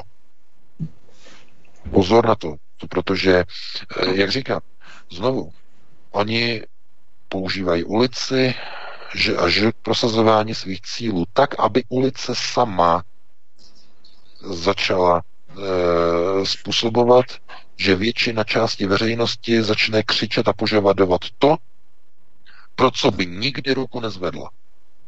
Francouzi by nikdy nezvedli ruku pro zrušení e, Franc- franku jako hotovosti, jako hotového platidla, ale ve chvíli, kdyby to ohrozilo bankovní bezpečnost, by, bylo by to vykreslené jako něco, co ohrožuje jejich vklady, jejich banky, tak najednou by francouzi řekli, no, no, no, zavedeme dobře, dobře, bezhotovostní platby, bezhotovostní platby, bezhotovostní, aby nám nekrachly naše banky a my jsme nepřišli o naše úspory. No, takže na to pod také pozor, protože já jsem to, jak říkám, já, to, já, to, já jsem to nesledoval tohleto, ale e, dovedu si představit velice dobře, že lidé okolo Rothschilda jenom, jenom čekají na nějakou záminku, jenom, jenom, aby mohli říct, pojďme prosadit bezhotovostní Francii. Pojďme do toho. Musíme najít nějakou záminku. Kde? Jakou? No krize. Ran. Ran na banky. Takže e, máme 21.57, nevím, jestli ještě máme někoho volajícího. Ano, ano, tak asi poslední. Dobrý večer, svobodný vysílač. Dobrý večer, eh, Jana u telefonu. Slyšíme se? Ano. Ano, večer, Jano. Večer. Super, super. Já jsem se chtěla pana VK zeptat eh, na jednu věc. On pořád mluví o tom, že píše knihu a že už nějakou knihu vydal a já jsem se chtěla zeptat, eh, kde se ta kniha dá koupit a jak se jmenuje. Asi tam nebude napsáno kniha od pana VK, tak já budu poslouchat. Děkuju. Dobře, děkujeme. Naschle. Já děkuji za dotaz a to mě překvapuje, eh, protože když půjdete na Aerony, tak v pravém sloupci máte reklamní banner, obrázek eh, psáno Human ex machina a když na to kliknete, tak vás to přesměruje na obchod ABB, nebo na knihy Adama Bartoše a tam si můžete online knihu objednat tu první. Co se týče té druhé, ta je ještě v díle, nebo v díle, stále ještě ji píšu. A já jsem říkal, po novém roce, ano, po novém roce, jak říkám, časově jsem na tom prostě tak zoufale, tak já jsem dělal pracovně vlastně celý svátky, pracovně. Možná jste viděli, že jsem psal články, tohle to všechno, workoholik, ale uh, jsem, no tak jako trošku jsem si odpočnul, ale zase ne moc, možná jeden den, dva dny jsem si asi odpočinul že se ještě řešili další věci, zase firma. A e, takže snad to bude, ne, říkám do, do března, no snad do března by se mohlo zadařit. No, e, takže e, tam si může paní vlastně objednat e, tu první knihu a ta druhá, ta bude potom také anoncovaná na Aeronetu. Takže já bych předal slovo Vítku a no. máme 21.58, takže bychom se asi rozloučili. Určitě, VK, rozloučíme se. Já jenom doplním, že my zároveň tuto knihu uh, Human Ex Machina vysíláme na svobodném vysílači. Uh, nikoli v pravidelných časech, ale uslyšíte ji u nás rovněž. Nicméně u Adama Bartoše lze objednat jak tedy uh, textovou knihu v elektronické podobě nebo tištěné podobě, tak i audio knihu, kterou jsme dělali, kterou načetl Adam Bartoš. A my jsme ji natáčeli, sestříhali, uh, to znamená, že je tam i v audio podobě, takže máme komfort nebo ten luxus se vybrat si, z jakého formátu chceme. Tak já bych jenom na, na konci připomněl, že tři známí, dva nebo tři, ano, tři přátelé, kteří si zřizovali internet u T-Mobile v rámci LTE technologií, 3, 4G že, a tak dále, tak eh, všichni mají a všem nabídl a v podstatě prodal, protože T-Mobile poskytuje modemy eh, za určitý pronájem, symbolický za měsíc, několik desítek korun a tak dále tak všichni mají Huawei. Všichni, všech, veškerý modem, všichni modemy, které mají známý, je Huawei. Jo? Takže i náš T-Mobile je docela dobrý v tom poskytování čínských technologií. Tak to bylo všechno ode mě. Já přeju všem eh, krásný večer, hezký víkend. Eh, příští týden jsme tu opět v pátek od 19 hodin s další porcí informací. Já se s vámi loučím, od mikrofonu se loučí Vítek, přeju hezký večer. No a příště se s vámi těšíme na slyšenou. Ještě VK. Já se také loučím s tebou, Vítku, i s tebou, Martine. Eh, loučím se s všemi posluchači svobodného vysílače CS a eh, se všemi čtenáři CZ. Uslyšíme se příští pátek opět od 19 hodin, opět s novými tématy ve stejný čas. Takže přeji vám krásnou dobrou noc. Tak a Martine, děkuji ještě za vysílání. Já děkuji, zdravím vás, všem přeji dobrou noc, jak VK, tak Vítkovi a mírové nebe nad hlavou v dalších týdnech a měsících tohoto roku. Tak už se jenom rozloučíme a Petr je nachystaný. Takže naslyšenou. Jsme Český svobodný vysílač. U nás máte svobodný prostor na prezentaci vašich názorů a komentářů, ale také plnou zodpovědnost za jejich obsah. Svoboda a odpovědnost se nedají oddělit. Jedno podmiňuje druhé. Svobodný vysílač CS Prostor pro vás.